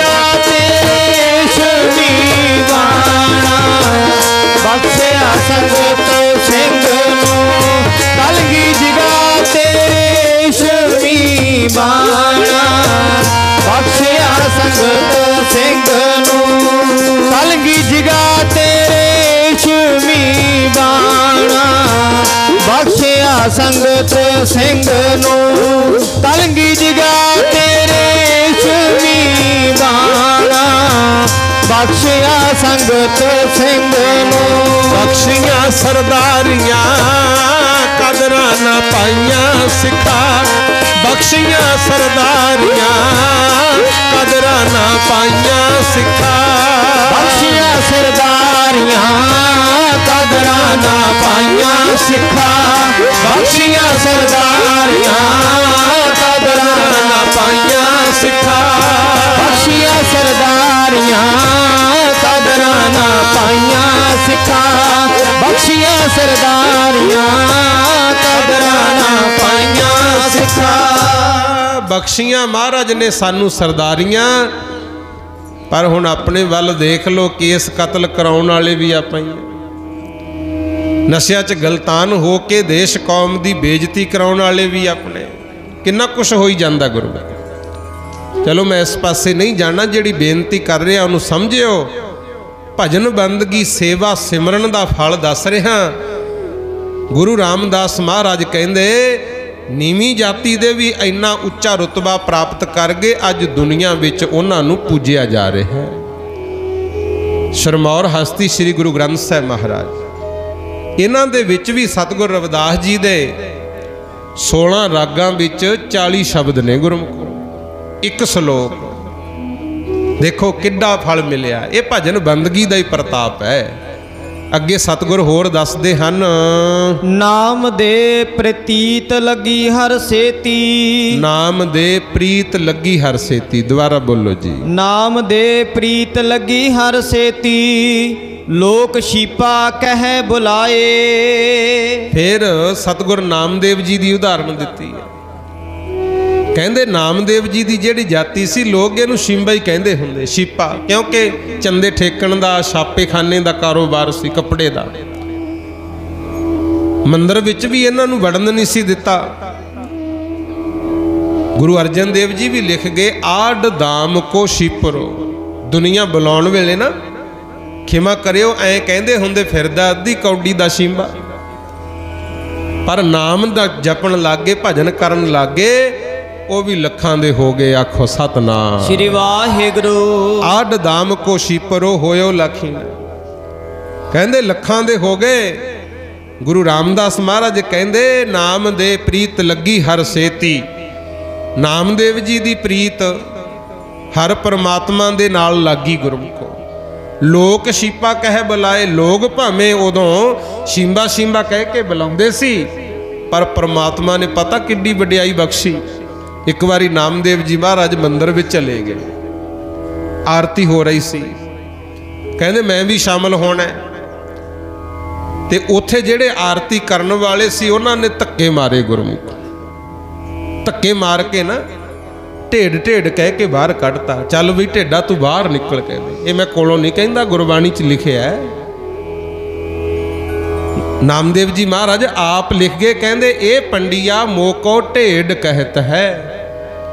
ਚੱਲ ਵੀ ਢੇਡਾ ਬਾਹਰ ਨਿਕਲ, ਤੂੰ ਨਹੀਂ ਕਹਿੰਦੇ ਵੜ ਸਕਦਾ। ਫਿਰ ਨਾਮਦੇਵ ਜੀ ਨੇ ਕੀ ਕੀਤਾ? ਉੱਥੇ ਲੜਾਈ ਨਹੀਂ ਕੀਤੀ। ਕਿਸੇ ਨੂੰ ਬੁਰਾ ਸ਼ਬਦ ਨਹੀਂ ਕਿਹਾ। ਪਰਮਾਤਮਾ ਨੂੰ ਯਾਦ ਕਰਕੇ ਕਹਿੰਦੇ, ਇਹ ਪੰਡੀਆ ਮੋਕੋ ਢੇਡ ਕਹਿਤ ਹੈ, ਤੇਰੀ ਪੈਜ ਪਛੌਂਡੀ ਹੋਏ ਲਾ। ਮਾਲਕਾ ਜੇ ਇਸ ਜਾਤੀ ਵਿੱਚ ਆ ਕੇ ਮੈਂ ਭਜਨ ਨਹੀਂ ਕਰ ਸਕਦਾ, ਤੈਨੂੰ ਤਾਂ ਪਤਾ ਸੀ ਨਾ? ਫਿਰ ਮੈਨੂੰ ਇਸ ਜਾਤੀ 'ਚ ਜਨਮ ਕਿਉਂ ਦਿੱਤਾ? ਹੁਣ ਕਰ ਹੀਲਾ। ਪਰਮਾਤਮਾ ਅੱਗੇ ਪੁਕਾਰ ਕੀਤੀ ਫਿਰ ਗੁਰੂ ਰਾਮਦਾਸ ਮਹਾਰਾਜ ਆ ਅਗਲੀ ਪੰਕਤੀ ਵਿੱਚ ਲਿਖਦੇ ਹਨ। ਖੱਤਰੀ ਬ੍ਰਾਹਮਣ ਪਿੱਠ ਦੇ ਛੋਡੇ ਹਰ ਨਾਮ ਦਿਓ ਲਿਆ ਮੁਖ ਲਾਏ। ਕਹਿੰਦੇ ਜਿਹੜੇ ਮੰਦਿਰ ਵਿੱਚ ਆਰਤੀ ਹੋ ਰਹੀ ਸੀ ਮੰਦਿਰ ਦੇ ਵਿੱਚ ਨਾ ਇੱਕ ਪੱਥਰ ਦੀ ਮੂਰਤ ਉਹ ਚਲੋ ਉਹਨਾਂ ਦਾ ਧਰਮ ਕਹਿੰਦਾ ਉਹਨੂੰ ਮੰਨਦੇ ਆਪਾਂ ਮਾੜਾ ਨਹੀਂ ਕਹਿੰਦੇ ਕਿਉਂਕਿ ਜਿਨ੍ਹਾਂ ਦਾ ਧਰਮ ਹੈ ਮੰਨਣ। ਜਿਵੇਂ ਹੁਣ ਆਪਾਂ ਬੈਠੇ ਆ ਗੁਰੂ ਗ੍ਰੰਥ ਸਾਹਿਬ ਜੀ ਦੇ ਸਨਮੁਖ ਬੈਠੇ ਆ ਨਾ ਤੇ ਜਿਹੜੇ ਨਾਮਦੇਵ ਜੀ ਨੂੰ ਮੰਦਿਰ ਵਿੱਚੋਂ ਕੱਢਿਆ ਸੀ ਇਹ ਹਜੂਰ ਸਾਹਿਬ ਤੋਂ ਅੱਗੇ ਆ ਜਗ੍ਹਾ ਗੁਰਮੁਖ। ਉਹ ਪੰਡਤ ਸਾਰੇ ਆਰਤੀ ਕਰਦੇ ਸੀ ਜਿਹੜਾ ਉਹਨਾਂ ਦਾ ਦੇਵਤੇ ਦੀ ਮੂਰਤ ਬਣਾਈ ਹੋਈ ਸੀ। ਕਹਿੰਦੇ ਉਹਦਾ ਮੁਖ ਤਾਂ ਹੋ ਗਿਆ ਨਾਮਦੇਵ ਵੱਲ ਤੇ ਪਿਸ਼ਵਾਰਲਾ ਉਹ ਆਰਤੀ ਕਰਨ ਵਾਲਿਆਂ ਵੱਲ ਹੋ ਗਿਆ ਆਖੋ ਸਤਨਾਮ। ਸ੍ਰੀ ਵਾਹਿਗੁਰੂ। ਹੁਣ ਵੀ ਗੁਰਮੁਖੋ ਮੰਦਰ ਉਸੇ ਤਰ੍ਹਾਂ ਜਿਹੜਾ ਮਹਾਰਾਜ ਨੇ ਘੁਮਾਇਆ ਸੀ।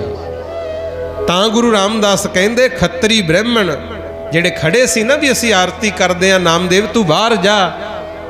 ਉਹਨਾਂ ਨੂੰ ਤਾਂ ਵਾਹਿਗੁਰੂ ਨੇ, ਪਿੱਠ ਦੇ ਛੋਡੇ ਪਿੱਛੇ ਕਰਤਾ। ਹਰ ਨਾਮ ਦਿਓ ਲੀਆ ਮੁਖ ਲਾਏ। ਵਾਹਿਗੁਰੂ ਨੇ ਨਾਮ ਦੇ ਵੱਲ ਮੁਖ ਕੀਤਾ। ਅੱਜ ਜੇ ਕਿਤੇ ਦਰਸ਼ਨ ਕਰਨ ਜਾਓ ਨਾ, ਉਥੋਂ ਦੇ ਪੁਜਾਰੀ ਕਹਿੰਦੇ ਨੇ, ਕਹਿੰਦੇ ਭਾਈ ਜੇ ਦਰਸ਼ਨ ਕਰਨ ਆਏ ਹੋ ਸੰਤ ਨਾਮਦੇਵ ਜੀ ਦਾ ਵੀ ਦਰਸ਼ਨ ਕਰਕੇ ਜਾਓ। ਉਸੇ ਤਰ੍ਹਾਂ ਨਕਸ਼ਾ ਖਿੱਚਿਆ ਹੋਇਆ ਪੂਰਾ ਇਨ ਬਿਨ। ਇਹ ਆ ਨਾਮ ਦੀ ਵਡਿਆਈ ਹੈ ਧੰਨ ਗੁਰੂ ਰਾਮਦਾਸ ਪਾਤਸ਼ਾਹ ਅੱਗੇ ਫੇਰ ਲਿਖਦੇ ਹਨ ਜਿਤਨੇ ਭਗਤ ਹਰ ਸੇਵਕਾ ਮੁਖ 68 ਤੀਰਥ ਤਿਨ ਤਿਲਕ ਕਢਾਏ। ਕਹਿੰਦੇ ਜਿੰਨੇ ਵੀ ਵਾਹਿਗੁਰੂ ਦੇ ਸੇਵਕ ਹੋਏ ਭਗਤ ਹੋਏ ਨਾਮ ਜਪਣ ਵਾਲੇ ਹੋਏ ਉਹਨਾਂ ਨੂੰ ਵਾਹਿਗੁਰੂ ਨੇ ਐਸਾ ਫਲ ਦਿੱਤਾ। 68 ਤੀਰਥ ਵੀ ਆ ਕੇ ਉਹਨਾਂ ਦੇ ਦਰਸ਼ਨ ਕਰਦੇ ਐ। ਨਾਮ ਜਪਣ ਦੀ ਐਡੀ ਵੱਡੀ ਮਹਿਮਾ ਹੈ ਗੁਰਮੁਖ। ਗੁਰੂ ਗ੍ਰੰਥ ਸਾਹਿਬ ਮਹਾਰਾਜ ਵਿੱਚ ਇਹ ਵੀ ਲਿਖਿਆ ਹੋਇਆ, ਗੁਰੰਥੀ ਸਿੰਘ ਬੈਠੇ ਆ, ਇਹਨਾਂ ਨੇ ਤਾਂ ਪੜ੍ਹਿਆ ਹੀ ਹੈ ਜਿਤਨੇ ਤੀਰਥ ਦੇਵੀ ਥਾਪੇ, ਸਭ ਤਿਤਨੇ ਲੋਚਾ ਹੈ ਧੂਰ ਸਾਧੂ ਕੀ ਤਾਈ। ਕਿਲਵਿਖ ਮੈਲ ਭਰੇ ਪਰੈ ਹਮਰੇ ਵਿੱਚ, ਹਮਰੀ ਮੈਲ ਸਾਧੂ ਕੀ ਧੂਰ ਗਵਾਈ। 68 ਤੀਰਥ ਵੀ ਕਹਿੰਦੇ ਆ ਕਹਿੰਦੇ ਦੁਨੀਆ ਦੇ ਪਾਪੀ ਲੋਗ ਸਾਡੇ ਵਿੱਚ ਨਹਾ ਜਾਂਦੇ ਆ।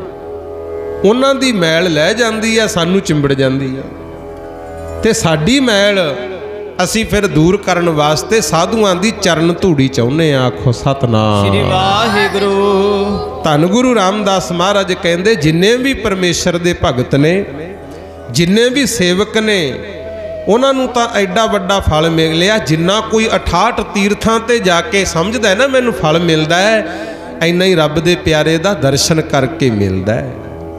ਉਹ ਟਿੱਕਾ, ਤਿਲਕ, ਸੋਭਾ ਦਾ ਭਗਤਾਂ ਦੇ ਸੀਸ ਤੇ ਮਹਾਰਾਜ ਨੇ ਲਾਇਆ ਅੱਗੇ ਗੁਰੂ ਰਾਮਦਾਸ ਮਹਾਰਾਜ ਜੀ ਨੂੰ ਪੁੱਛਿਆ ਗਿਆ ਵੀ ਨਾਮ ਜਪਣ ਵਾਲਿਆਂ ਦਾ ਤੁਸੀਂ ਕਿੰਨਾ ਕੁ ਸਤਿਕਾਰ ਕਰਦੇ ਹੋ? ਤਾਂ ਸਤਿਗੁਰ ਫਿਰ ਆਪਣੀ ਗੱਲ ਕਰਦੇ ਹਨ। ਜਨ ਨਾਨਕ ਤਿਨ ਕੋ ਅਨ ਦਿਨ ਪਰਸੇ ਜੇ ਕਿਰਪਾ ਕਰੇ ਹਰ ਰਾਏ। ਦੇਖੋ ਧੰਨ ਗੁਰੂ ਰਾਮਦਾਸ ਮਹਾਰਾਜ ਦੀ ਨਿਮਰਤਾ। ਜਿਹੜੇ ਵੀ ਗੁਰੂ ਨੇ ਬਾਣੀ ਲਿਖੀ ਉਹਨੇ ਆਪਣਾ ਨਾਮ ਨਹੀਂ ਲਿਖਿਆ। ਨਾਨਕ ਨਾਮ ਪਾਇਆ ਕਿਉਂਕਿ ਜੋਤ ਗੁਰੂ ਨਾਨਕ ਵਾਲੀ ਟਿਕਦੀ ਰਹੀ। ਗੁਰੂ ਰਾਮਦਾਸ ਮਹਾਰਾਜ ਇੱਥੇ ਕਹਿੰਦੇ ਨੇ ਕਹਿੰਦੇ ਮੈਂ ਤਾਂ ਦਿਨ ਰਾਤ ਰੱਬ ਦੇ ਪਿਆਰਿਆਂ ਦੇ ਚਰਨ ਪਰਸ਼ਨ ਨੂੰ ਤਿਆਰ ਬੈਠਾ। ਉਹਨਾਂ ਦੇ ਚਰਨਾਂ ਦੀ ਧੂੜ ਲਵਾਂ। ਜੇ ਕਿਤੇ ਅਕਾਲ ਪੁਰਖ ਵਾਹਿਗੁਰੂ ਕਿਰਪਾ ਕਰਕੇ ਮੈਨੂੰ ਇਹ ਸਮਾਂ ਬਖਸ਼ ਦੇ ਆਖੋ ਸਤਨਾਮ। ਸ੍ਰੀ ਵਾਹਿਗੁਰੂ। ਕੱਲਾ ਕਹਿ ਕੇ ਹੀ ਨਹੀਂ ਸਾਰਿਆ। ਇੱਕ ਵਾਰੀ ਬਾਬਾ ਸ੍ਰੀ ਚੰਦਰ ਜੀ ਮਹਾਰਾਜ ਮਿਲਣ ਚਲੇ ਗਏ। ਬਾਰਠ ਪਿੰਡ ਉਹਨਾਂ ਦਾ ਵੱਡਾ ਡੇਰਾ ਗੁਰਦਾਸਪੁਰ ਜ਼ਿਲ੍ਹੇ 'ਚ। ਉਥੋਂ ਭਾਈ ਕਮਲੀਆ ਜੀ ਨੂੰ ਕਹਿੰਦੇ, ਚੱਲ ਕੇ ਦੇਖਣਾ ਹੈ ਵੀ ਗੁਰੂ ਘਰ ਦੀ ਮਰਿਆਦਾ ਕਾਇਮ ਹੈ ਜਾਂ ਟੁੱਟ ਗਈ। ਆ ਗਏ ਅੰਮ੍ਰਿਤਸਰ ਸਾਹਿਬ। ਜਦੋਂ ਆਏ, ਗੁਰੂ ਰਾਮਦਾਸ ਜੀ ਨੂੰ ਪਤਾ ਲੱਗ ਗਿਆ ਤੇ ਮੂਹਰੋਂ ਜਾ ਕੇ ਸਤਕਾਰ ਨਾਲ ਆਓ ਭਗਤ ਕਰਕੇ ਲਿਆਂਦਾ। ਉਹ ਤਾਂ ਹੁਣ ਪਰਖਣ ਆਏ ਸੀ। ਗੁਰੂ ਰਾਮਦਾਸ ਜੀ ਨੇ ਪਲੰਗ ਤੇ ਬੈਠਣ ਨੂੰ ਕਹਿਤਾ, ਜਿਹੜੇ ਪਲੰਗ ਤੇ ਆਪ ਬੈਠਦੇ ਹੁੰਦੇ। ਤੇ ਬਾਬਾ ਸ੍ਰੀ ਚੰਦਰ ਜੀ ਚੌਕੜਾ ਲਾ ਕੇ ਨਹੀਂ ਬੈਠੇ, ਪੈਰ ਹੇਠਾਂ ਲਮਕਾ ਕੇ ਬਹਿ ਗਏ।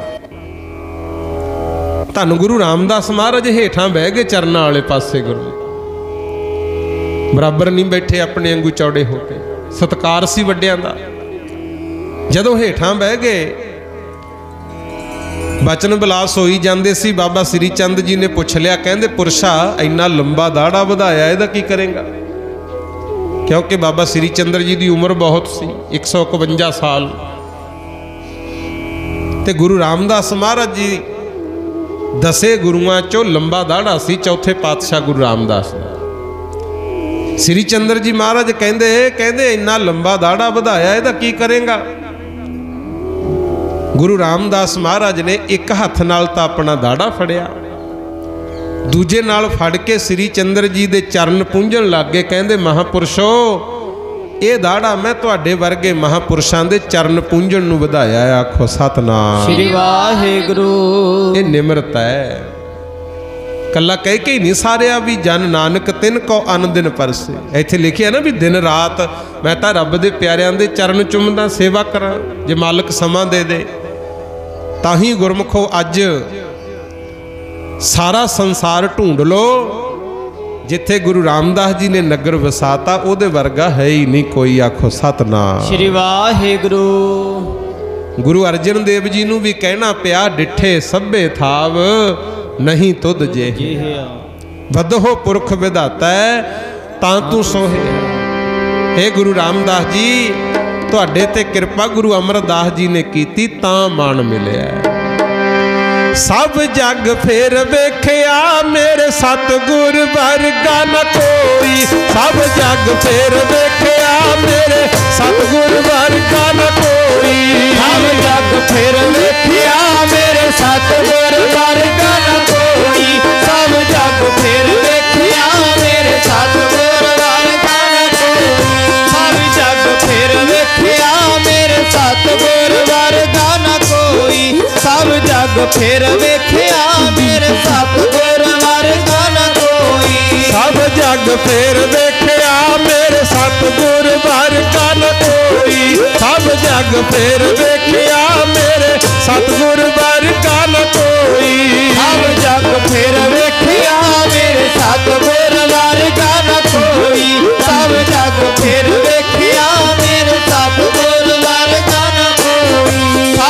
ਜਗ ਫਿਰ ਵੇਖਿਆ, ਮੇਰੇ ਸਤਿਗੁਰ ਵਰਗਾ ਨ ਕੋਈ।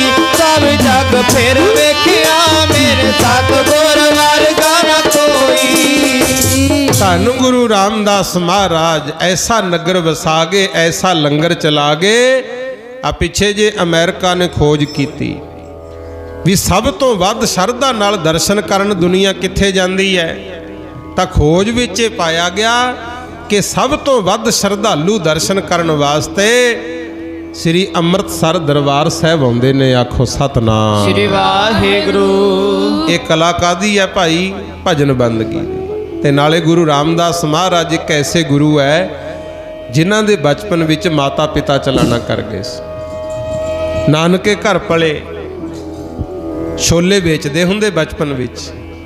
ਉਬਲੇ ਹੋਏ ਛੋਲੇ ਨਾ, ਇਹ ਬੋਰੀ ਵਿਛਾ ਕੇ ਬਹਿ ਜਾਣਾ। ਅੰਮ੍ਰਿਤਸਰ ਜਾਂਦੇ ਹੋ, ਇੱਕ ਖੂਹ ਹੈ, ਵਾਹਿਗੁਰੂ ਗੋਇੰਦਵਾਲ ਸਾਹਿਬ। ਗੋਇੰਦਵਾਲ ਸਾਹਿਬ ਵਿੱਚ ਇੱਕ ਖੂਹ ਹੈ, ਜਿੱਥੇ ਬੈਠ ਕੇ ਬੋਰੀ ਵਿਛਾ ਕੇ ਆਵਾਜ਼ਾਂ ਦਿੰਦੇ ਹੁੰਦੇ, ਕੋਈ ਉਬਲੇ ਹੋਏ ਛੋਲੇ ਲੈ ਲਓ, ਘੁੰਗਣੀਆਂ ਲੈ ਲਓ। ਐਦਾਂ ਗੁਜ਼ਾਰਾ ਕੀਤਾ ਸੀ। ਪਰ ਸੇਵਾ ਨਹੀਂ ਛੱਡੀ, ਸਿਮਰਨ ਨਹੀਂ ਛੱਡਿਆ। ਅੱਜ ਦੇਖੋ ਫਿਰ ਮਾਣ ਤਾਣ ਕਿੰਨਾ ਮਿਲਿਆ। ਦੁਨੀਆ ਨੇ ਕੱਲਾ ਗੁਰੂ ਕਰਕੇ ਹੀ ਨਹੀਂ ਪੂਜਿਆ। ਮਹਾਰਾਜ ਕਹਿੰਦੇ ਸਿੱਖੀ ਅਤੇ ਸੰਗਤੀ ਪਾਰ ਬ੍ਰਹਮ ਕਰ ਨਮਸਕਾਰਿਆ। ਸਿੱਖ ਸੰਗਤਾਂ ਨੇ ਪਾਰ ਬ੍ਰਹਮ ਕਰਕੇ ਗੁਰੂ ਰਾਮਦਾਸ ਜੀ ਨੂੰ ਮੱਥੇ ਟੇਕ ਕੇ ਆਖੋ ਸਤਨਾਮ। ਸ੍ਰੀ ਵਾਹਿਗੁਰੂ। ਸੋ ਇਹ ਹੈ ਭਾਈ ਨਾਮ ਜਪਣ ਦੀ ਮਹਿਮਾ। ਮੇਰੀ ਸਾਰੀ ਸੰਗਤ ਨੂੰ ਬੇਨਤੀ ਹੈ ਮੈਂ ਵੀ ਵਿੱਚੋਂ ਹੀ ਆ ਠੀਕ ਹੈ ਜਿੱਥੇ ਜਿੱਥੇ ਮਾਲਕ ਨੇ ਕਿੱਤਾ ਬਖਸ਼ਿਆ ਆਪਾਂ ਕਰ ਰਹੇ ਆ ਗੁਰੂ। ਪਰ ਸਵੇਰ ਸ਼ਾਮ ਪ੍ਰਮਾਤਮਾ ਦਾ ਭਜਨ ਕਰਿਆ ਕਰੋ। ਦਿਨੇ ਵੀ ਕੋਈ ਕਾਰਜ ਕਰੀਏ, ਤਾਂ ਮਨ ਵਿੱਚ ਇਹ ਭੈ ਰੱਖਣਾ ਕਿ ਅਕਾਲ ਪੁਰਖ ਵਾਹਿਗੁਰੂ ਸਾਡੀ ਹਰ ਗਤੀਵਿਧੀ ਨੂੰ ਵੇਖ ਰਿਹਾ ਹੈ। ਇਹਦਾ ਫਲ ਉਹਨੇ ਦੇਣਾ ਹੈ। ਭਜਨ ਵੱਧ ਤੋਂ ਵੱਧ ਕਰੋ ਗੁਰੂ। ਨਾਲੇ ਜਿਹੜੀ ਯਾਦ ਅਸਤਾ ਹੈ ਨਾ, ਕਈ ਕਹਿੰਦੇ ਆ ਸਾਡੇ ਯਾਦ ਨਹੀਂ ਰਹਿੰਦਾ, ਪੜ੍ਹਦੇ ਲਿਖਦੇ ਬਹੁਤ ਆ, ਭੁੱਲ ਜਾਈਦਾ ਹੈ। ਯਾਦ ਅਸਤ ਦੀ ਇੱਕੋ ਹੀ ਦਵਾਈ ਹੈ ਇਕਾਗਰਤਾ ਗੁਰੂ। ਜਿਹੜਾ ਸਾਡਾ ਮਨ ਹੈ ਨਾ, ਜਦੋਂ ਬਾਹਲੇ ਪਾਸੇ ਲਿਹਾਜ਼ਾਂ ਪੈ ਜਾਣ, ਫਿਰ ਖਿੰਡ ਜਾਂਦਾ ਗੁਰੂ। ਕੋਸ਼ਿਸ਼ ਕਰਿਆ ਕਰੋ ਇੱਕ ਦੇ ਬਣੀਏ ਮਨ ਨੂੰ ਟਿਕਾ ਵਿੱਚ ਰੱਖੀਏ। ਜਿੰਨਾ ਟਿਕਾ ਨਾਲ ਸ਼ਾਂਤੀ ਨਾਲ ਦਿਮਾਗ ਖੁੱਲਦਾ ਹੈ ਉਹਨਾਂ ਦਵਾਈਆਂ ਨਾਲ ਨਹੀਂ ਖੁੱਲਦਾ। ਭਗਤਾਂ ਨੇ ਗੁਰੂ ਦੀ ਭਗਤੀ ਕੀਤੀ। ਉਦੋਂ ਕਿਹੜੇ ਸਕੂਲ ਕਾਲਜ ਸੀਗੇ? ਤੇ ਬਚਨ ਇਹੇ ਜੇ ਲਿਖਤੇ ਜਿਹੜੇ ਹੁਣ ਤੱਕ ਵੀ ਵਿਗਿਆਨੀ ਖੋਜ ਕਰ ਰਹੇ ਆ। ਆਖੋ ਸਤਨਾਮ। ਸ੍ਰੀ ਵਾਹਿਗੁਰੂ। ਨਾਮਦੇਵ ਜੀ ਮਹਾਰਾਜ ਨੇ ਸਰੀਰ ਦੀ ਕੱਲੀ ਕੱਲੀ ਨਾੜੀ ਬਾਰੇ ਦੱਸਤਾ ਗੁਰੂ। ਨਾਲੇ ਕਿੱਥੇ ਕਿਹੜੇ ਸਕੂਲ ਕਾਲਜ ਵਿੱਚ ਪੜ੍ਹੇ ਸੀ ਉਹ? ਉਹ ਭਜਨ ਦਾ ਪ੍ਰਤਾਪ ਹੈ। ਜਿਹੜੇ ਪ੍ਰਮਾਤਮਾ ਨੇ ਅਖੰਡ ਬ੍ਰਹਿਮੰਡ ਸਾਜੇ, ਜਦੋਂ ਉਹਦੇ ਨਾਲ ਜੁੜ ਜਾਾਂਗੇ, ਉਹ ਫਿਰ ਸਾਨੂੰ ਸਾਰਾ ਗਿਆਨ ਦੇ ਦਿੰਦਾ ਹੈ ਗੁਰਮੁਖ। ਬਸ ਉਹਦੇ ਨਾਲ ਸਾਂਝ ਬਣਾਈਏ। ਆਓ, ਅੱਜ ਆਪਾਂ ਵਿਆਹ ਦੇ ਸਮਾਗਮ ਵਿੱਚ ਇਕੱਤਰ ਹੋਏ ਆ ਬਾਕੀ ਗੁਰੂ ਨਾਨਕ ਪਾਤਸ਼ਾਹ ਦੇ ਪ੍ਰਕਾਸ਼ ਦਿਹਾੜੇ ਦੇ ਆ ਦਿਨ ਚੱਲ ਰਹੇ ਵਿਆਹ ਦੇ ਸੰਬੰਧੀ ਕੁਝ ਵਿਚਾਰ ਆਪ ਜੀ ਦੇ ਨਾਲ ਸਾਂਝੀ ਕਰਨੀ ਚਾਹੁੰਨਾ ਧੰਨ ਗੁਰੂ ਨਾਨਕ ਸਾਹਿਬ ਮਹਾਰਾਜ। ਰਾਏ ਭੋਏ ਕੀ ਤਲਵੰਡੀ ਸ੍ਰੀ ਨਨਕਾਣਾ ਸਾਹਿਬ ਵਿਖੇ ਪ੍ਰਗਟ ਹੋਏ। ਕੁਝ ਸਾਲ ਤਲਵੰਡੀ ਰਹੇ। ਉਦੋਂ ਬਾਅਦ ਭੈਣ ਨਾਨਕੀ ਆਪਣੇ ਵੀਰ ਨਾਨਕ ਨੂੰ ਸੁਲਤਾਨਪੁਰ ਲੋਧੀ ਲੈ ਗਈ। 14 ਸਾਲ 9 ਮਹੀਨੇ 13 ਦਿਨ ਸੁਲਤਾਨਪੁਰ ਲੋਧੀ ਦੀ ਪਾਵਨ ਧਰਤੀ ਤੇ ਗੁਰੂ ਨਾਨਕ ਸਾਹਿਬ ਨੇ ਬਿਤਾਏ ਗੁਰੂ। ਨੌਕਰੀ ਵੀ ਕੀਤੀ। 13 13 ਉੱਥੀ ਤੋਲਿਆ। ਹਿਸਾਬ ਕਿਤਾਬ ਵੀ ਚੈੱਕ ਹੋਇਆ, ਹਰ ਵਾਰੀ ਪੂਰਾ ਨਿਕਲਿਆ। ਤੇ ਸਵੇਰੇ ਸ਼ਾਮ ਵੇਈ ਨਦੀ ਤੇ ਜਾ ਕੇ ਇਸ਼ਨਾਨ ਕਰਦੇ, ਜਿੱਥੇ ਗੁਰਦੁਆਰਾ ਬੇਰ ਸਾਹਿਬ ਹੈ। ਉੱਥੇ ਸਤਸੰਗ ਹੁੰਦਾ ਸੀ। ਸਮਾਂ ਪਾ ਕੇ ਗੁਰਮਖੋ ਜਦੋਂ 18 19 ਸਾਲ ਦੇ ਲਗਭਗ ਉਮਰ ਹੋਈ ਗੁਰੂ ਨਾਨਕ ਪਾਤਸ਼ਾਹ ਦੀ ਭੈਣ ਨਾਨਕੀ ਜੀ ਤੇ ਗੁਰੂ ਨਾਨਕ ਪਾਤਸ਼ਾਹ ਦੇ ਜੀਜਾ ਜੀ ਭਾਈ ਜੈ ਰਾਮ ਜੀ। ਉਹਨਾਂ ਨੇ ਸਲਾਹ ਕੀਤੀ ਕਿ ਹੁਣ ਆਪਾਂ ਨਾਨਕ ਦੀ ਸ਼ਾਦੀ ਕਰੀਏ। ਹੁੰਦਾ ਹੀ ਹੈ ਗੁਰਮਖੋ, ਵੱਡਿਆਂ ਨੂੰ ਫਿਕਰ ਹੁੰਦਾ ਹੈ ਤੇ ਜਦੋਂ ਗੁਰੂ ਨਾਨਕ ਪਾਤਸ਼ਾਹ ਦੇ ਵਿਆਹ ਦੀ ਗੱਲ ਚੱਲੀ, ਬਟਾਲਾ ਨਗਰ ਪੈਂਦਾ ਹੈ। ਬਟਾਲੇ ਨਗਰ ਤੋਂ ਭਾਈ ਮੂਲ ਚੰਦ, ਉਹ ਵੀ ਪਟਵਾਰੀ ਸੀ। ਤੇ ਗੁਰਮੁਖ ਪਿਆਰਿਓ ਉਹਨਾਂ ਦੀ ਲੜਕੀ ਸੁਲੱਖਣੀ ਉਹ ਵੀ ਜਵਾਨ ਸੀ। ਤੇ ਇਧਰੋਂ ਗੁਰੂ ਨਾਨਕ ਪਾਤਸ਼ਾਹ ਵੀ ਪਟਵਾਰੀ ਦੇ ਪੁੱਤਰ ਹੋਣ ਕਰਕੇ ਇਹਨਾਂ ਦੀ ਸਾਂਝ ਪੈ ਗਈ ਆਖੋ ਸਤਨਾਮ। ਸ੍ਰੀ ਵਾਹਿਗੁਰੂ। ਤਾਂ ਉਸ ਵੇਲੇ ਗੁਰਮੁਖ ਪਿਆਰਿਓ ਪਰਿਵਾਰ ਨੇ ਰਾਇ ਕੀਤੀ ਕਿ ਮੂਲ ਚੰਦ ਦੀ ਸੁਪੁੱਤਰੀ ਸੁਲੱਖਣੀ ਦੇ ਨਾਲ ਆਪਾਂ ਨਾਨਕ ਦਾ ਰਿਸ਼ਤਾ ਕਰਵਾਈ ਕੀਤੀ ਹੋਈ ਸਲਾਹ ਦੇ ਮੁਤਾਬਕ ਗੁਰਮੁਖ ਪਿਆਰਿਓ, ਦੋਨਾਂ ਪਰਿਵਾਰਾਂ ਦੀ ਰਾਇ ਬਣ ਗਈ। ਰਾਇ ਬਣੀ, ਰਿਸ਼ਤੇਦਾਰ, ਭੈਣ ਭਾਈ ਇਕੱਠੇ ਹੋਏ, ਸ਼ਗਨ ਹੋ ਗਿਆ ਗੁਰਮੁਖ। ਕੁਝ ਸਮਾਂ ਲੰਘ ਕੇ ਵਿਆਹ ਦਾ ਦਿਨ ਰੱਖਿਆ 24 ਜੇਠ 1487 ਈਸਵੀ ਗੁਰੂ 1487 ਦੇ ਵਿੱਚ ਗੁਰੂ ਨਾਨਕ ਸਾਹਿਬ ਦੇ ਵਿਆਹ ਦਾ ਦਿਨ ਸਭ ਰਿਸ਼ਤੇਦਾਰ ਸਕੇ ਸੰਬੰਧੀ ਆ ਗਏ। ਗੁਰੂ ਨਾਨਕ ਸਾਹਿਬ ਦੇ ਪਿਤਾ ਜੀ ਕਲਿਆਣ ਦਾਸ ਜਿਹਨੂੰ ਮਹਿਤਾ ਕਹਿੰਦੇ ਹੋ, ਮਹਿਤਾ ਸ਼ਬਦ ਫਾਰਸੀ ਵਿੱਚ ਪਟਵਾਰੀ ਨੂੰ ਆਖਿਆ ਜਾਂਦਾ ਹੈ। ਮਾਤਾ ਤ੍ਰਿਪਤਾ ਜੀ, ਚਾਚਾ ਲਾਲੂ ਜੀ, ਮਾਮਾ ਰਾਮਾ ਜੀ, ਸਾਰੇ ਰਿਸ਼ਤੇਦਾਰ ਸਕੇ ਸੰਬੰਧੀ ਆ ਗਏ। ਭੈਣ ਨਾਨਕੀ ਨੂੰ ਬੜਾ ਚਾਹ ਖੁਸ਼ੀਆਂ ਦੇ ਗੀਤ ਗਾਏ ਗਏ ਗੁਰਮੁਖੋ। ਭਾਈ ਮਰਦਾਨਾ ਜੀ, ਭਾਈ ਬਾਲਾ ਜੀ ਹੋਰ ਵੀ ਸਾਧੂ ਸੰਤ ਫਕੀਰ ਜਿਹੜੇ ਵੀ ਗੁਰੂ ਨਾਨਕ ਸਾਹਿਬ ਦੇ ਨਾਲ ਸਾਂਝ ਰੱਖਣ ਵਾਲੇ ਸੀ, ਸਭ ਇਕੱਠੇ ਹੋਏ। ਭੈਣ ਨਾਨਕੀ ਨੇ ਬੜਾ ਸੁੰਦਰ ਸਿਹਰਾ ਤਿਆਰ ਕੀਤਾ। ਆਪਣੇ ਰੱਬ ਰੂਪ ਵੀਰ ਨਾਨਕ ਦੇ ਸਿਰ ਤੇ ਸਿਹਰਾ ਸਜਾਇਆ। ਤੇ ਖੁਸ਼ੀਆਂ ਦੇ ਵਿੱਚ ਖੀਵੀ ਹੋਈ ਗੀਤ ਗਾਵੇ, ਨਾਨਕ ਵੀਰਾ, ਮੈਂ ਤੈਨੂੰ ਕੋੜੀ ਚੜੇਂਦੀਆਂ ਨਾਨਕ ਵੀਰਾ, ਮੈਂ ਤੈਨੂੰ ਕੋੜੀ ਚੜੇਂਦੀਆਂ ਨਾਨਕ ਵੀਰਾ, ਮੈਂ ਤੈਨੂੰ ਕੋੜੀ ਚੜੇਂਦੀਆਂ ਨਾਨਕ ਵੀਰਾ, ਮੈਂ ਤੈਨੂੰ ਕੋੜੀ ਚੜੇਂਦੀਆਂ ਨਾਨਕ ਵੀਰਾ, ਮੈਂ ਤੈਨੂੰ ਕੋੜੀ ਚੜੇਂਦੀਆਂ ਨਾਨਕ ਵੀਰਾ, ਮੈਂ ਤੈਨੂੰ ਕੋੜੀ ਚੜੇ ਲਟਕੇਂਦੇ ਵਾਲ ਸੋਨੇ ਦੀਆਂ ਕਲੀਆਂ ਨਾਨਕ ਵੀਰਾ, ਮੈਂ ਤੈਨੂੰ ਕੋੜੀ ਚੜੇਂਦੀਆਂ। ਨਾਨਕ ਵੀਰਾ, ਮੈਂ ਤੈਨੂੰ ਕੋੜੀ ਚੜੇਂਦੀਆਂ। ਨਾਨਕ ਵੀਰਾ, ਮੈਂ ਤੈਨੂੰ ਕੋੜੀ ਚੜੇਂਦੀਆਂ। ਇਸ ਤਰ੍ਹਾਂ ਸਾਰੀ ਬਰਾਤ ਤਿਆਰ ਹੋਈ। ਸਾਧੂ ਸੰਤ ਫਕੀਰ, ਕਿਸੇ ਦੇ ਪਿੰਡੇ ਤੇ ਸਵਾਹ ਮਲੀ ਹੋਈ ਕੋਈ ਜਟਾ ਜੂਟ ਸਾਧੂ। ਜਦੋਂ ਚੱਲ ਕੇ ਬਰਾਤ ਪਹੁੰਚੀ ਨਾ ਗੁਰਮੁਖੋ ਬਟਾਲੇ, ਉੱਥੇ ਇੱਕ ਗੁਰਦੁਆਰਾ ਹੈ, ਗੁਰਦੁਆਰਾ ਕੰਧ ਸਾਹਿਬ। ਗੁਰਦੁਆਰਾ ਸਾਹਿਬ ਬਾਅਦ ਚ ਬਣਿਆ। ਉਸ ਜਗ੍ਹਾ ਤੇ ਪਿਆਰਿਓ ਬਰਾਤ ਦਾ ਉਤਾਰਾ ਕੀਤਾ ਸੀ, ਆਖੋ ਸਤਨਾਮ। ਸ੍ਰੀ ਵਾਹਿਗੁਰੂ। ਜਦੋਂ ਉਤਾਰਾ ਕੀਤਾ ਤੇ ਪਤਾ ਲੱਗਿਆ, ਜਿਹੜੇ ਸਕੇ ਸੰਬੰਧੀ ਸੀ ਇਕੱਠੇ ਹੋ ਕੇ ਵਿਚਾਰਾਂ ਕਰਦੇ ਆ, ਕਹਿੰਦੇ ਆਪਾਂ ਤਾਂ ਸੁਣਿਆ ਸੀ ਵੀ ਇਹ ਪਟਵਾਰੀ ਦਾ ਪੁੱਤ ਹੈ। ਇਹਦੇ ਤਾਂ ਰਾਏ ਬੁਲਾਰ ਵਰਗੇ ਵੀ ਸ਼ਰਧਾਲੂ ਨੇ, ਪਰ ਲੱਗਦਾ ਨਹੀਂ ਹੈ। ਕਿਉਂਕਿ ਜਿਹੇ ਜੀ ਸੰਗਤ ਹੋਵੇ ਨਾ, ਬੰਦਾ ਪਛਾਣਿਆ ਜਾਂਦਾ ਹੈ। ਨਸ਼ੇੜੀਆਂ ਨਾਲ ਬੋਲਚਾਲ ਜ਼ਿਆਦੇ ਹੋਵੇ, ਆਪਾਂ ਹਿਸਾਬ ਵਾਲਾ ਲਾਂਗੇ ਵੀ ਕੋਈ ਗੜਬੜ ਹੈ ਗੱਲ ਗੁਰਮਖੋ, ਸਾਧੂ ਸੰਤਾਂ ਨਾਲ ਸੰਗਤ ਹੋਵੇ, ਗੱਲਬਾਤ ਜ਼ਿਆਦਾ ਹੁੰਦੀ ਹੋਵੇ, ਪਤਾ ਲੱਗ ਜੂ ਬੱਚਾ ਗੁਰਸਿੱਖ ਹੈ। ਤੇ ਸਹੁਰਾ ਪਰਿਵਾਰ ਜਿਨ੍ਹਾਂ ਨੇ ਹੁਣ ਧੀ ਦਾ ਰਿਸ਼ਤਾ ਕਰਨਾ ਸੀ, ਫਿਕਰ ਤਾਂ ਹੁੰਦਾ ਹੀ ਸੀ। ਇੱਕ ਉਦੋਂ ਇਹ ਸੀ, ਹੁਣ ਤਾਂ ਆਪਾਂ ਪਹਿਲਾਂ ਹੀ ਪਤਾ ਲਾ ਲੈਨੇ ਆ ਸਭ ਕੁਝ ਨਾਨਕੇ, ਦਾਦਕੇ, ਜਾਤ ਗੋਤ ਕੀ ਹੈ। ਉਦੋਂ ਤਾਂ ਲੱਗੀ ਤੱਥੇ ਭੇਜੇ ਜਾਂਦੇ, ਜਿਹੋ ਜਿਹਾ ਉਹ ਕਰ ਆਉਂਦੇ, ਮਾਪੇ ਮੰਨ ਲੈਂਦੇ ਸੀ। ਤੇ ਲੜਕੇ ਲੜਕੀਆਂ ਵਿੱਚ ਵੀ ਸਬਰ ਹੁੰਦਾ ਸੀ। ਮਾਪਿਓ ਦੀ ਇੱਜ਼ਤ ਨਹੀਂ ਸੀ ਰੋਲਦੇ ਆਖੋ ਸਤਨਾਮ। ਸ੍ਰੀ ਵਾਹਿਗੁਰੂ। ਤੇ ਹੁਣ ਕੀ ਹੁੰਦਾ ਤੁਹਾਡੇ ਸਾਹਮਣੇ ਆ ਸਭ ਕੁਝ ਗੁਰੂ। ਪਤਾ ਨਹੀਂ ਕੀ ਦੁਨੀਆ ਦੀ ਮਤ ਨੂੰ ਹੋਇਆ। ਹੁਣ ਉੱਥੇ ਜਾ ਕੇ ਜਦੋਂ ਗਏ ਸਾਰੇ ਸਿਆਣੇ ਬੰਦੇ ਸੋਚਣ ਕਹਿੰਦੇ ਸੁਣਿਆ ਪੁੱਤ ਪਟਵਾਰੀ ਦਾ ਚਾਨਣ ਦੁਨੀਆ ਸਾਰੀ ਦਾ। ਪਰ ਅੱਜ ਇਹਨੂੰ ਕੀ ਹੋ ਗਿਆ? ਅਸੀਂ ਤਾਂ ਸੁਣਿਆ ਸੀ ਵੀ ਮੁੰਡਾ ਪੜਿਆ ਲਿਖਿਆ ਪਾਂਦੇ ਨੂੰ ਵੀ ਪੜਾ ਕੇ ਆਇਆ। ਰਾਏ ਬਲਾਰ ਵਰਗੇ ਵੀ ਸ਼ਰਧਾ ਰੱਖਦੇ ਐ ਪਰ ਜਿਹੜੇ ਦੇ ਬਰਾਤੀ ਆਏ ਐ ਕਿਸੇ ਦੇ ਪੈਰਾਂ 'ਚ ਖੜਾਵਾਂ ਪਾਈਆਂ।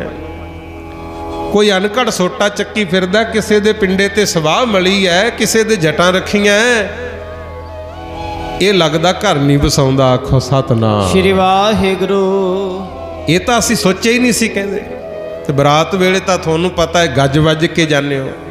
ਉਂ ਭਾਵੇਂ ਪੱਗ ਨਾ ਬੰਨਣ ਬਰਾਤ ਵੇਲੇ ਕਹਿਣਗੇ, ਚਾਹੇ 4 ਰੁਪਏ ਵੱਧ ਹੀ ਲੈ ਲਈ, ਸੋਹਣੀ ਜੀ ਪੱਗ ਬੰਨਦੇ ਪਰ ਤੁਹਾਨੂੰ ਇਹ ਵੀ ਬੇਨਤੀ ਕਰਨੀ ਚਾਹੁੰਨਾ ਜਿਹੜੀ ਦਸਤਾਰ ਹੈ ਨਾ ਗੁਰਮਖੋ, ਇਹ ਬਹੁਤ ਕੁਰਬਾਨੀਆਂ ਕਰਕੇ ਸਾਨੂੰ ਮਿਲੀ ਹੈ।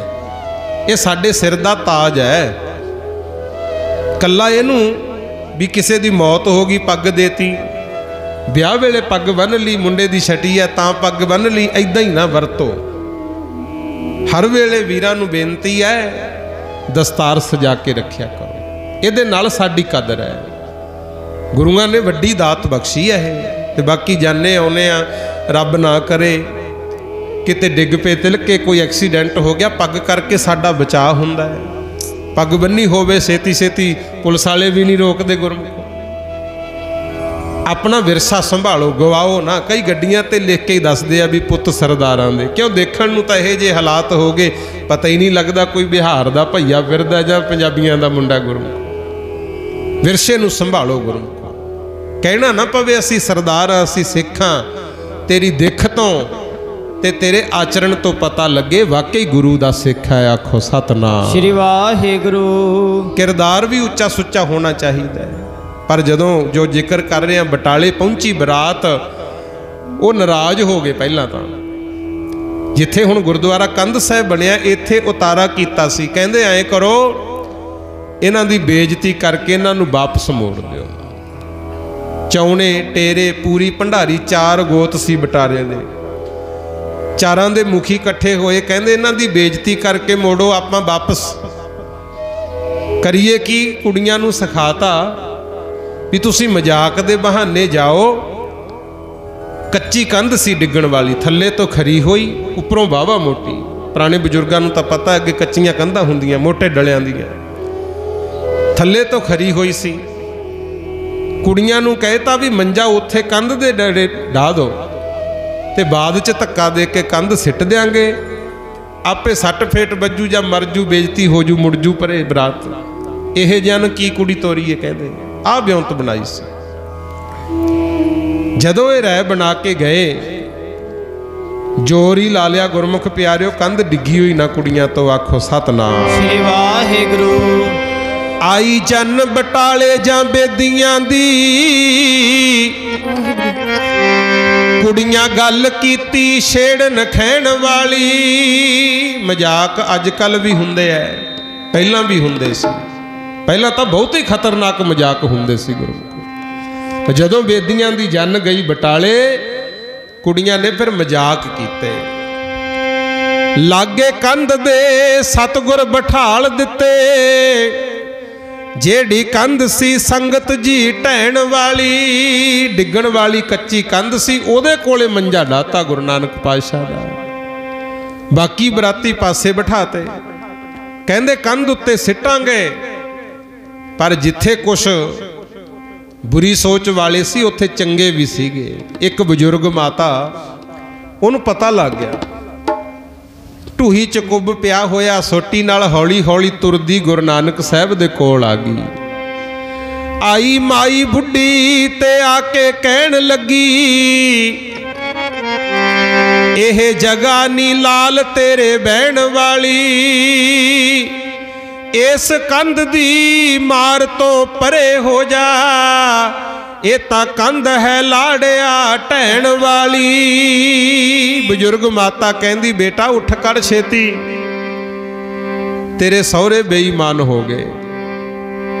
ਆਪੇ ਹੀ ਰਿਸ਼ਤਾ ਕੀਤਾ, ਆਪੇ ਹੀ ਹਾਂ ਕੀਤੀ, ਬਰਾਤ ਨੂੰ ਬੁਲਾਇਆ ਤੇ ਹੁਣ ਤੇਰੇ ਨਾਲ ਦਿਆਂ ਨੂੰ ਵੇਖ ਕੇ ਕਹਿੰਦੇ ਐ, ਕਿਸੇ ਦੇ ਨਾਲ ਲੱਤ, ਕਿਸੇ ਦੇ ਨਾਲ ਇੱਕ ਬਾਹ ਨਹੀਂ ਵੱਖਰਾ ਇਹ ਸਾਡਾ ਘਰ ਲੱਭਿਆ ਸਰਾਂ ਨਹੀਂ ਇਹ ਸਰਾਂ ਭਾਲ ਲਿਆ, ਇਹੇ ਜੇ ਬਰਾਤੀ ਲਿਆਏ। ਇਹ ਤੇਰੇ ਉੱਤੇ ਕੰਧ ਸਿੱਟਣਗੇ, ਚੌਣੇ ਟੇਰੇ, ਇਹ ਦੋਨੇ ਰਲ ਗਏ, ਪੂਰੀ ਤੇ ਭੰਡਾਰੀਆਂ ਨੇ ਸਾਥ ਨਹੀਂ ਦਿੱਤਾ ਇਸ ਕੰਧ ਸਿੱਟਣ ਵਿੱਚ। ਸਤਗੁਰ ਨੂੰ ਕਹਿੰਦੀ ਐ, ਇਸ ਕੰਧ ਦੀ ਮਾਰ ਤੋਂ ਪਰੇ ਹੋ ਜਾ, ਇਹ ਤਾਂ ਕੰਧ ਹੈ ਲਾੜਿਆ ਢਹਿਣ ਵਾਲੀ। ਜਦੋਂ ਇਹ ਗੱਲ ਮਾਈ ਨੇ ਕਹੀ, ਮੇਰੇ ਸਤਗੁਰ ਹੱਸ ਪਏ ਗੁਰਮੁਖੋ। ਗੁਰੂ ਨਾਨਕ ਸਾਹਿਬ ਕਹਿੰਦੇ, ਮਾਤਾ ਭੋਲੀਏ, ਐਵੇਂ ਕਿਉਂ ਫਿਕਰ ਕਰਦੀ? ਇਹ ਤਾਂ ਕੰਧ ਚਾਰ ਯੁੱਗ ਤੱਕ ਰਹਿਣ ਵਾਲੀ। ਮੇਰੇ ਵਿਆਹ ਦੀ ਇਹ ਯਾਦਗਾਰ ਬਣ ਜੂ। ਦੁਨੀਆ ਕਰੂ ਦਰਸ਼ਨ ਮੁਕਤੀ ਲੈਣ ਵਾਲੀ। ਕਹਿੰਦੇ, ਮਾਂ, ਫਿਕਰ ਨਾ ਕਰ। ਜਿਹੜੀ ਕੰਧੇ ਸਿੱਟਣਾ ਚਾਹੁੰਦੇ ਆ ਇਹ ਤਾਂ ਚਾਰ ਯੁੱਗਾਂ ਤੱਕ ਰਹੂ। ਬੋਲੇ।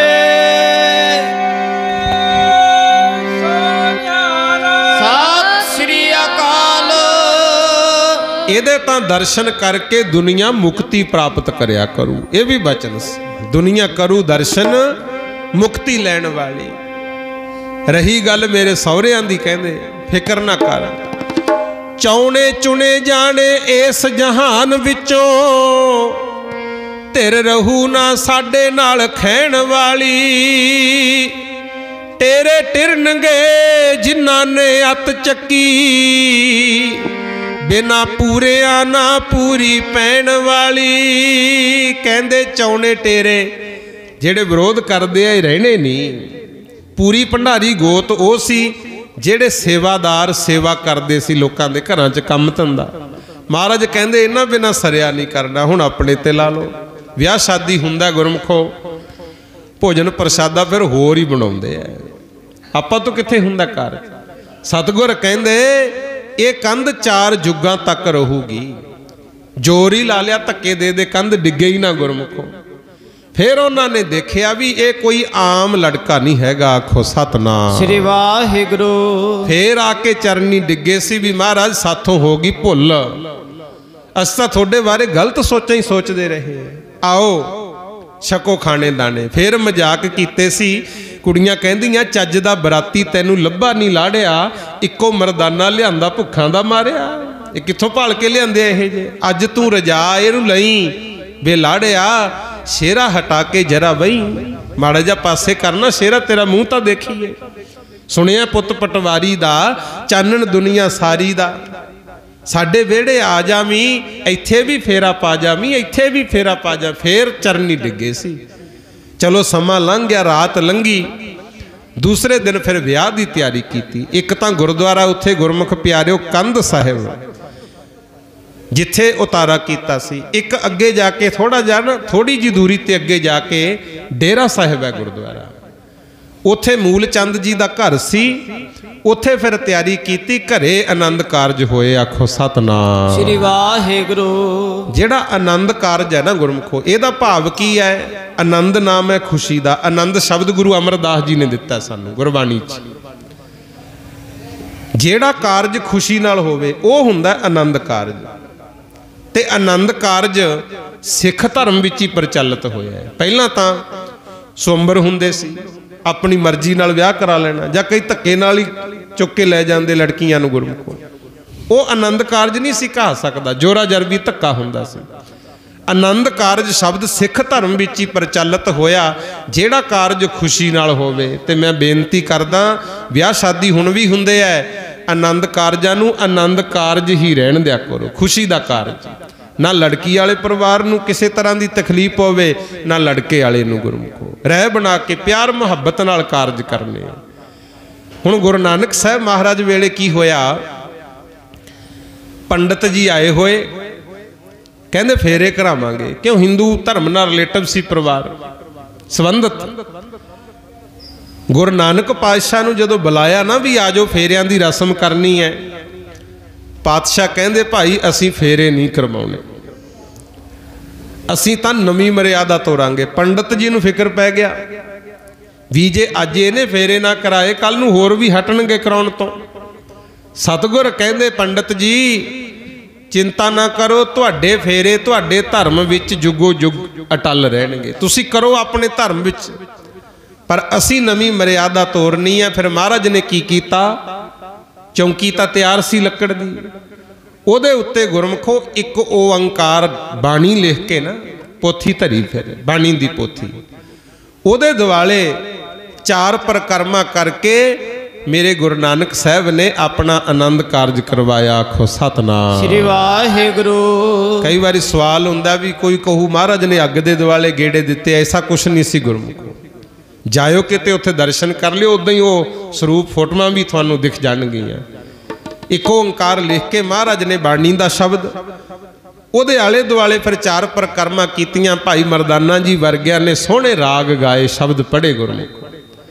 ਇਸ ਤਰ੍ਹਾਂ ਮੇਰੇ ਸਤਗੁਰ ਜੀ ਦਾ 24 ਜੇਠ 1487 ਈਸਵੀ ਨੂੰ ਮਾਤਾ ਸੁਲੱਖਣੀ ਜੀ ਦੇ ਨਾਲ ਵਿਆਹ ਹੋਇਆ ਗੁਰਮੁਖ। ਉਥੋਂ ਫਿਰ ਵਿਆਹ ਦੀ ਮਰਿਆਦਾ ਮਹਾਰਾਜ ਨੇ ਤੋਰੀ, ਉਦੋਂ ਬਾਅਦ ਗੁਰੂ ਰਾਮਦਾਸ ਮਹਾਰਾਜ ਜੀ ਨੇ ਚਾਰ ਲਾਵਾਂ ਉਚਾਰੀਆਂ, ਜਿਹੜੀਆਂ ਹੁਣ ਵਿਆਹ ਵੇਲੇ ਪੜੀਆਂ ਜਾਂਦੀਆਂ ਨਾ, ਚਾਰ ਲਾਵਾਂ ਦਾ ਪਾਠ ਕੀਤਾ ਜਾਂਦਾ ਹੈ। ਬੱਚਾ, ਬੱਚੀ ਨੂੰ ਇਕੱਠੇ ਬਿਠਾ ਕੇ ਲੜਕੀ ਦਾ ਪਿਤਾ ਲੜਕੇ ਦਾ ਪੱਲਾ ਲੜਕੀ ਦੇ ਹੱਥ ਫੜਾਉਂਦਾ ਹੈ। ਉਹਦਾ ਕਾਰਜ ਇਹ ਹੈ ਵੀ ਹੁਣ ਤੁਸੀਂ ਹੋਗੇ ਇੱਕ, ਮਾਤਾ ਪਿਤਾ ਖੜੇ ਹੋ ਕੇ ਅਰਦਾਸ ਕਰਦੇ ਆ ਕਿ ਤੁਹਾਨੂੰ ਗੁਰੂ ਦੇ ਲੜ ਲਾ ਰਹੇ ਆ ਆਖੋ ਸਤਨਾਮ। ਸ੍ਰੀ ਵਾਹਿਗੁਰੂ।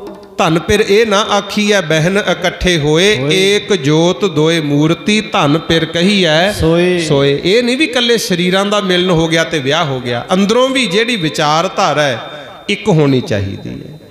ਲੜਕੀ ਵੱਲੋਂ ਪਰਨ ਕੀਤਾ ਜਾਂਦਾ ਵੈਸੇ ਤਾਂ ਇਹਦਾ ਸੰਬੰਧ ਪਰਮਾਤਮਾ ਨਾਲ ਹੈ ਪਰ ਆਪਾਂ ਨੂੰ ਉੱਥੋਂ ਹੀ ਸਿੱਖਿਆ ਲੈਣੀ ਹੈ।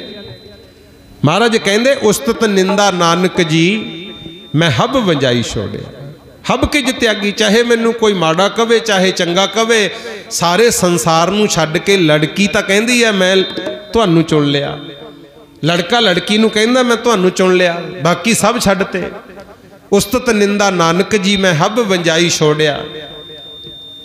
ਹੱਬ ਕਿਜ ਤਿਆਗੀ, ਸਾਰਾ ਕੁਝ ਤਿਆਗਤਾ ਹੱਬੇ ਸਾਕ ਕੁੜਾਵੇ ਡਿੱਠੇ। ਹੁਣ ਤੱਕ ਜਿੰਨੇ ਰਿਸ਼ਤੇ ਨਾਤੇ ਸੀ, ਉਹਨਾਂ ਨੂੰ ਐਵੇਂ ਜਾਣ ਕੇ ਅਸੀਂ ਹੁਣ ਆਪ ਜੀ ਦਾ ਪੱਲਾ ਫੜਿਆ ਆਖੋ ਸਤਨਾਮ। ਸ੍ਰੀ ਵਾਹਿਗੁਰੂ। ਤੇ ਜਦੋਂ ਮਹਾਰਾਜ ਦੀ ਹਜ਼ੂਰੀ 'ਚ ਪੱਲਾ ਫੜਿਆ ਜਾਂਦਾ ਹੈ ਉਦੋਂ ਗੁਰਮੁਖ ਪਿਆਰਿਓ ਇਹ ਪਰਨ ਕੀਤਾ ਜਾਂਦਾ ਵੀ ਸੱਚੇ ਪਾਤਸ਼ਾਹ ਆ ਚਾਰ ਗੇੜੇ ਜਿਹੜੇ ਦੇ ਰਹੇ ਆ ਨਾ ਗੁਰੂ ਗ੍ਰੰਥ ਸਾਹਿਬ ਨੂੰ ਸੱਜੇ ਹੱਥ ਰੱਖ ਕੇ ਚਾਰ ਪ੍ਰਕਰਮਾਂ ਕੀਤੀਆਂ ਜਾਂਦੀਆਂ। ਵੀ ਅਸੀਂ ਸਾਰੀ ਜ਼ਿੰਦਗੀ ਆਪ ਜੀ ਦੇ ਦੁਆਲੇ ਹੀ ਬਤੀਤ ਕਰਨੀ ਹੈ। ਦੂਰ ਨਹੀਂ ਹੋਣਾ ਦੁੱਖ ਹੈ ਭਾਵੇਂ ਸੁੱਖ ਹੈ ਭਾਈ ਮਹਾਰਾਜ ਦੇ ਚਰਨਾਂ 'ਚ ਹੀ ਅਰਦਾਸ ਕਰਨੀ ਹੈ। ਸੋ ਇਹ ਮਰਿਆਦਾ ਸਿੱਖ ਧਰਮ ਦੀ। ਗੁਰੂ ਨਾਨਕ ਸਾਹਿਬ ਦੇ ਵਿਆਹ ਦਾ ਵੀ ਆਪਾਂ ਜ਼ਿਕਰ ਕੀਤਾ ਹੈ। ਉਥੋਂ ਆਨੰਦ ਕਾਰਜਾਂ ਦੀ ਮਰਿਆਦਾ ਗੁਰਬਾਣੀ ਦੇ ਦੁਆਲੇ ਸ਼ੁਰੂ ਹੋਈ ਸੀ। ਫਿਰ ਗੁਰੂ ਰਾਮਦਾਸ ਜੀ ਨੇ ਚਾਰ ਲਾਵਾਂ ਉਚਾਰੀਆਂ ਤੇ ਹਰ ਵਿਆਹ ਮੌਕੇ ਸਿੱਖ ਧਰਮ ਵਿੱਚ ਚਾਰ ਲਾਮਾਂ ਦਾ ਪਾਠ ਜ਼ਰੂਰੀ ਹੈ, ਸਤਕਾਰ ਨਾਲ ਕੀਤਾ ਜਾਣਾ ਗੁਰੂ ਕੀਰਤਨ ਹੋ ਜੇ ਤੇ ਉਦੋਂ ਵੀ ਬਹੁਤ ਵਧੀਆ ਮਰਿਆਦਾ ਹੈ। ਬਟਾਲਾ ਸਾਹਿਬ ਦੀ ਧਰਤੀ ਪੂਜਣ ਯੋਗ ਹੋ ਗਈ। ਬਾਅਦ ਵਿੱਚ ਕਮਰ ਨੌ ਨਿਹਾਲ ਸਿੰਘ ਨੇ ਫਿਰ ਜਿੱਥੇ ਗੁਰਦੁਆਰਾ ਕੰਧ ਸਾਹਿਬ ਪਹਿਲਾਂ ਕੱਚਾ ਹੁੰਦਾ ਸੀ, ਫਿਰ ਕਮਰ ਨੌ ਨਿਹਾਲ ਸਿੰਘ ਦੇ ਰਾਜ ਕਾਲ ਵਿੱਚ ਪੱਕੇ ਦਰਬਾਰ ਬਣੇ, ਆਖੋ ਸਤਨਾਮ। ਗੁਰਦੁਆਰਾ ਸਾਹਿਬ ਦੇ ਨਾਮ ਜਗੀਰ ਵੀ ਲੱਗੀ।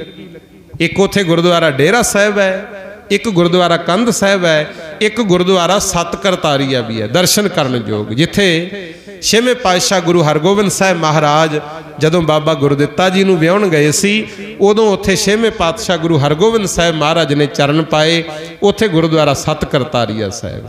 ਸੋ ਜਦੋਂ ਕਿਤੇ ਜਾਓ, ਜਰੂਰ ਦਰਸ਼ਨ ਕਰਿਓ, ਉਦੋਂ ਬਾਅਦ ਗੁਰਮੁਖ ਪਿਆਰਿਓ, ਆਨੰਦਾਂ ਦੀ ਮਰਿਆਦਾ ਤਾਂ ਚੱਲਦੀ ਰਹੀ। ਪਰ ਜਦੋਂ ਜਦੋਂ ਦੁਨੀਆ ਦੇ ਵਿੱਚ ਕੋਈ ਕਾਇਦੇ ਕਾਨੂੰਨ ਬਣੇ, ਇਹਨੂੰ ਮਾਨਤਾ ਨਹੀਂ ਸੀ ਮਿਲੀ। ਫਿਰ ਸਭ ਤੋਂ ਪਹਿਲਾ ਖਿਆਲ ਜਿਹੜੇ ਹੁਣ ਆ ਵਿਆਹ ਰਜਿਸਟਰ ਕਰਵਾਉਨੇ ਹੋ ਨਾ ਤੁਸੀਂ ਇਹ ਸਭ ਤੋਂ ਪਹਿਲਾਂ ਜਿਹੜਾ ਖਿਆਲ ਆਇਆ ਸੀ ਨਾਭਾ ਰਿਆਸਤ ਦੇ ਮਹਾਰਾਜਾ ਟਿੱਕਾ ਰਿਪਦਮਨ ਸਿੰਘ ਨੂੰ ਆਇਆ ਸੀ। ਵੀ ਜਿਵੇਂ ਬਾਕੀ ਹਰ ਕੰਮ ਦਾ ਸਰਟੀਫਿਕੇਟ ਮਿਲਦਾ ਹੈ, ਵਿਆਹ ਵੀ ਸਾਡਾ ਰਜਿਸਟਰ ਹੋਣਾ ਚਾਹੀਦਾ ਕਾਨੂੰਨਨ ਤੌਰ ਤੇ। ਉਹਨਾਂ ਨੇ ਫਿਰ ਗੁਰਮੁਖ ਪਿਆਰਿਓ ਭਾਈ ਕਾਨ ਸਿੰਘ ਨਾਭਾ, ਸੁੰਦਰ ਸਿੰਘ ਮਜੀਠੀਆ ਵਰਗਿਆਂ ਨਾਲ ਸਲਾਹ ਕੀਤੀ, ਫਿਰ ਇਹ ਮਤਾ ਪਾਸ ਕੀਤਾ ਗਿਆ। ਸੁੰਦਰ ਸਿੰਘ ਮਜੀਠੀਆ ਨੇ 27 ਅਗਸਤ 1909 ਨੂੰ ਫਿਰ ਸਭਾ ਦੇ ਵਿੱਚ ਗੁਰਮੁਖ ਪਿਆਰਿਓ ਆਨੰਦ ਐਕਟ ਦਾ ਮਤਾ ਪੇਸ਼ ਕੀਤਾ। ਉਦੋਂ ਬਾਅਦ 22 ਅਕਤੂਬਰ 1909 ਨੂੰ ਫਿਰ ਇਹ ਮਤਾ ਪਾਸ ਹੋਇਆ ਸੀ। ਜਦੋਂ ਵੀ ਆਨੰਦ ਕਾਰਜ ਗੁਰੂ ਗ੍ਰੰਥ ਸਾਹਿਬ ਦੇ ਦੁਆਲੇ ਪ੍ਰਕਰਮਾ ਕਰਕੇ ਜਾਂ ਮਹਾਰਾਜ ਦੀ ਹਜ਼ੂਰੀ 'ਚ ਬਹਿ ਕੇ ਚਾਰ ਲਾਵਾਂ ਪੜੀਆਂ ਜਾਂਦੀਆਂ ਜਿੱਥੇ ਕਿਤੇ ਵੀ ਦੁਨੀਆ ਦੇ ਕਿਸੇ ਕੋਨੇ 'ਚ ਵੀ ਆਨੰਦ ਕਾਰਜ ਹੋਣ, ਉਹਨੂੰ ਸਰਕਾਰੀ ਤੌਰ ਤੇ ਗੁਰਮੁਖੋ ਮਾਨਤਾ ਮਿਲਦੀ ਆ ਆਖੋ ਸਤਨਾਮ। ਸ੍ਰੀ ਵਾਹਿਗੁਰੂ। ਸੋ ਲੋ ਇੰਨੀ ਕੀ ਬੇਨਤੀ ਪ੍ਰਵਾਨ ਕਰ ਲਿਓ। ਸਮਾਂ ਵੀ ਕਾਫੀ ਹੋ ਚੱਲਿਆ ਹੈ। ਪਿਆਰ ਨਾਲ ਬੈਠ ਕੇ ਤੁਸੀਂ ਸੁਣ ਰਹੇ ਹੋ, ਜੀ ਤਾਂ ਕਰਦਾ ਸੀ, ਹੋਰ ਵਿਚਾਰਾਂ ਦੀ ਸਾਂਝ ਪਾਈਏ। ਪਰ ਸਮਾਂ ਇਜਾਜ਼ਤ ਨਹੀਂ ਦਿੰਦਾ, ਬਾਕੀ ਮੂਰੇ ਵੀ ਬਠਿੰਡੇ ਜ਼ਿਲ੍ਹੇ ਵਿੱਚ ਡਿੱਖ ਪਿੰਡ ਸਾਡਾ ਪ੍ਰੋਗਰਾਮ ਹੈ, ਦੀਵਾਨ ਹੈ ਮੂਰੇ ਉੱਥੇ ਵੀ ਜਾ ਕੇ ਸੰਗਤ ਦੇ ਦਰਸ਼ਨ ਕਰਨੇ ਹੈ। ਗੁਰੂ ਮਹਾਰਾਜ ਦੀ ਕਿਰਪਾ ਨਾਲ ਸੇਵਾਵਾਂ ਚੱਲ ਰਹੀਆਂ ਸੋ ਹੁਣ ਆਪ ਜੀ ਸਾਨੂੰ ਮਾਫੀ ਦਿਓ। ਬਹੁਤ ਬਹੁਤ ਸਾਰੀ ਸੰਗਤ ਦਾ ਧੰਨਵਾਦ।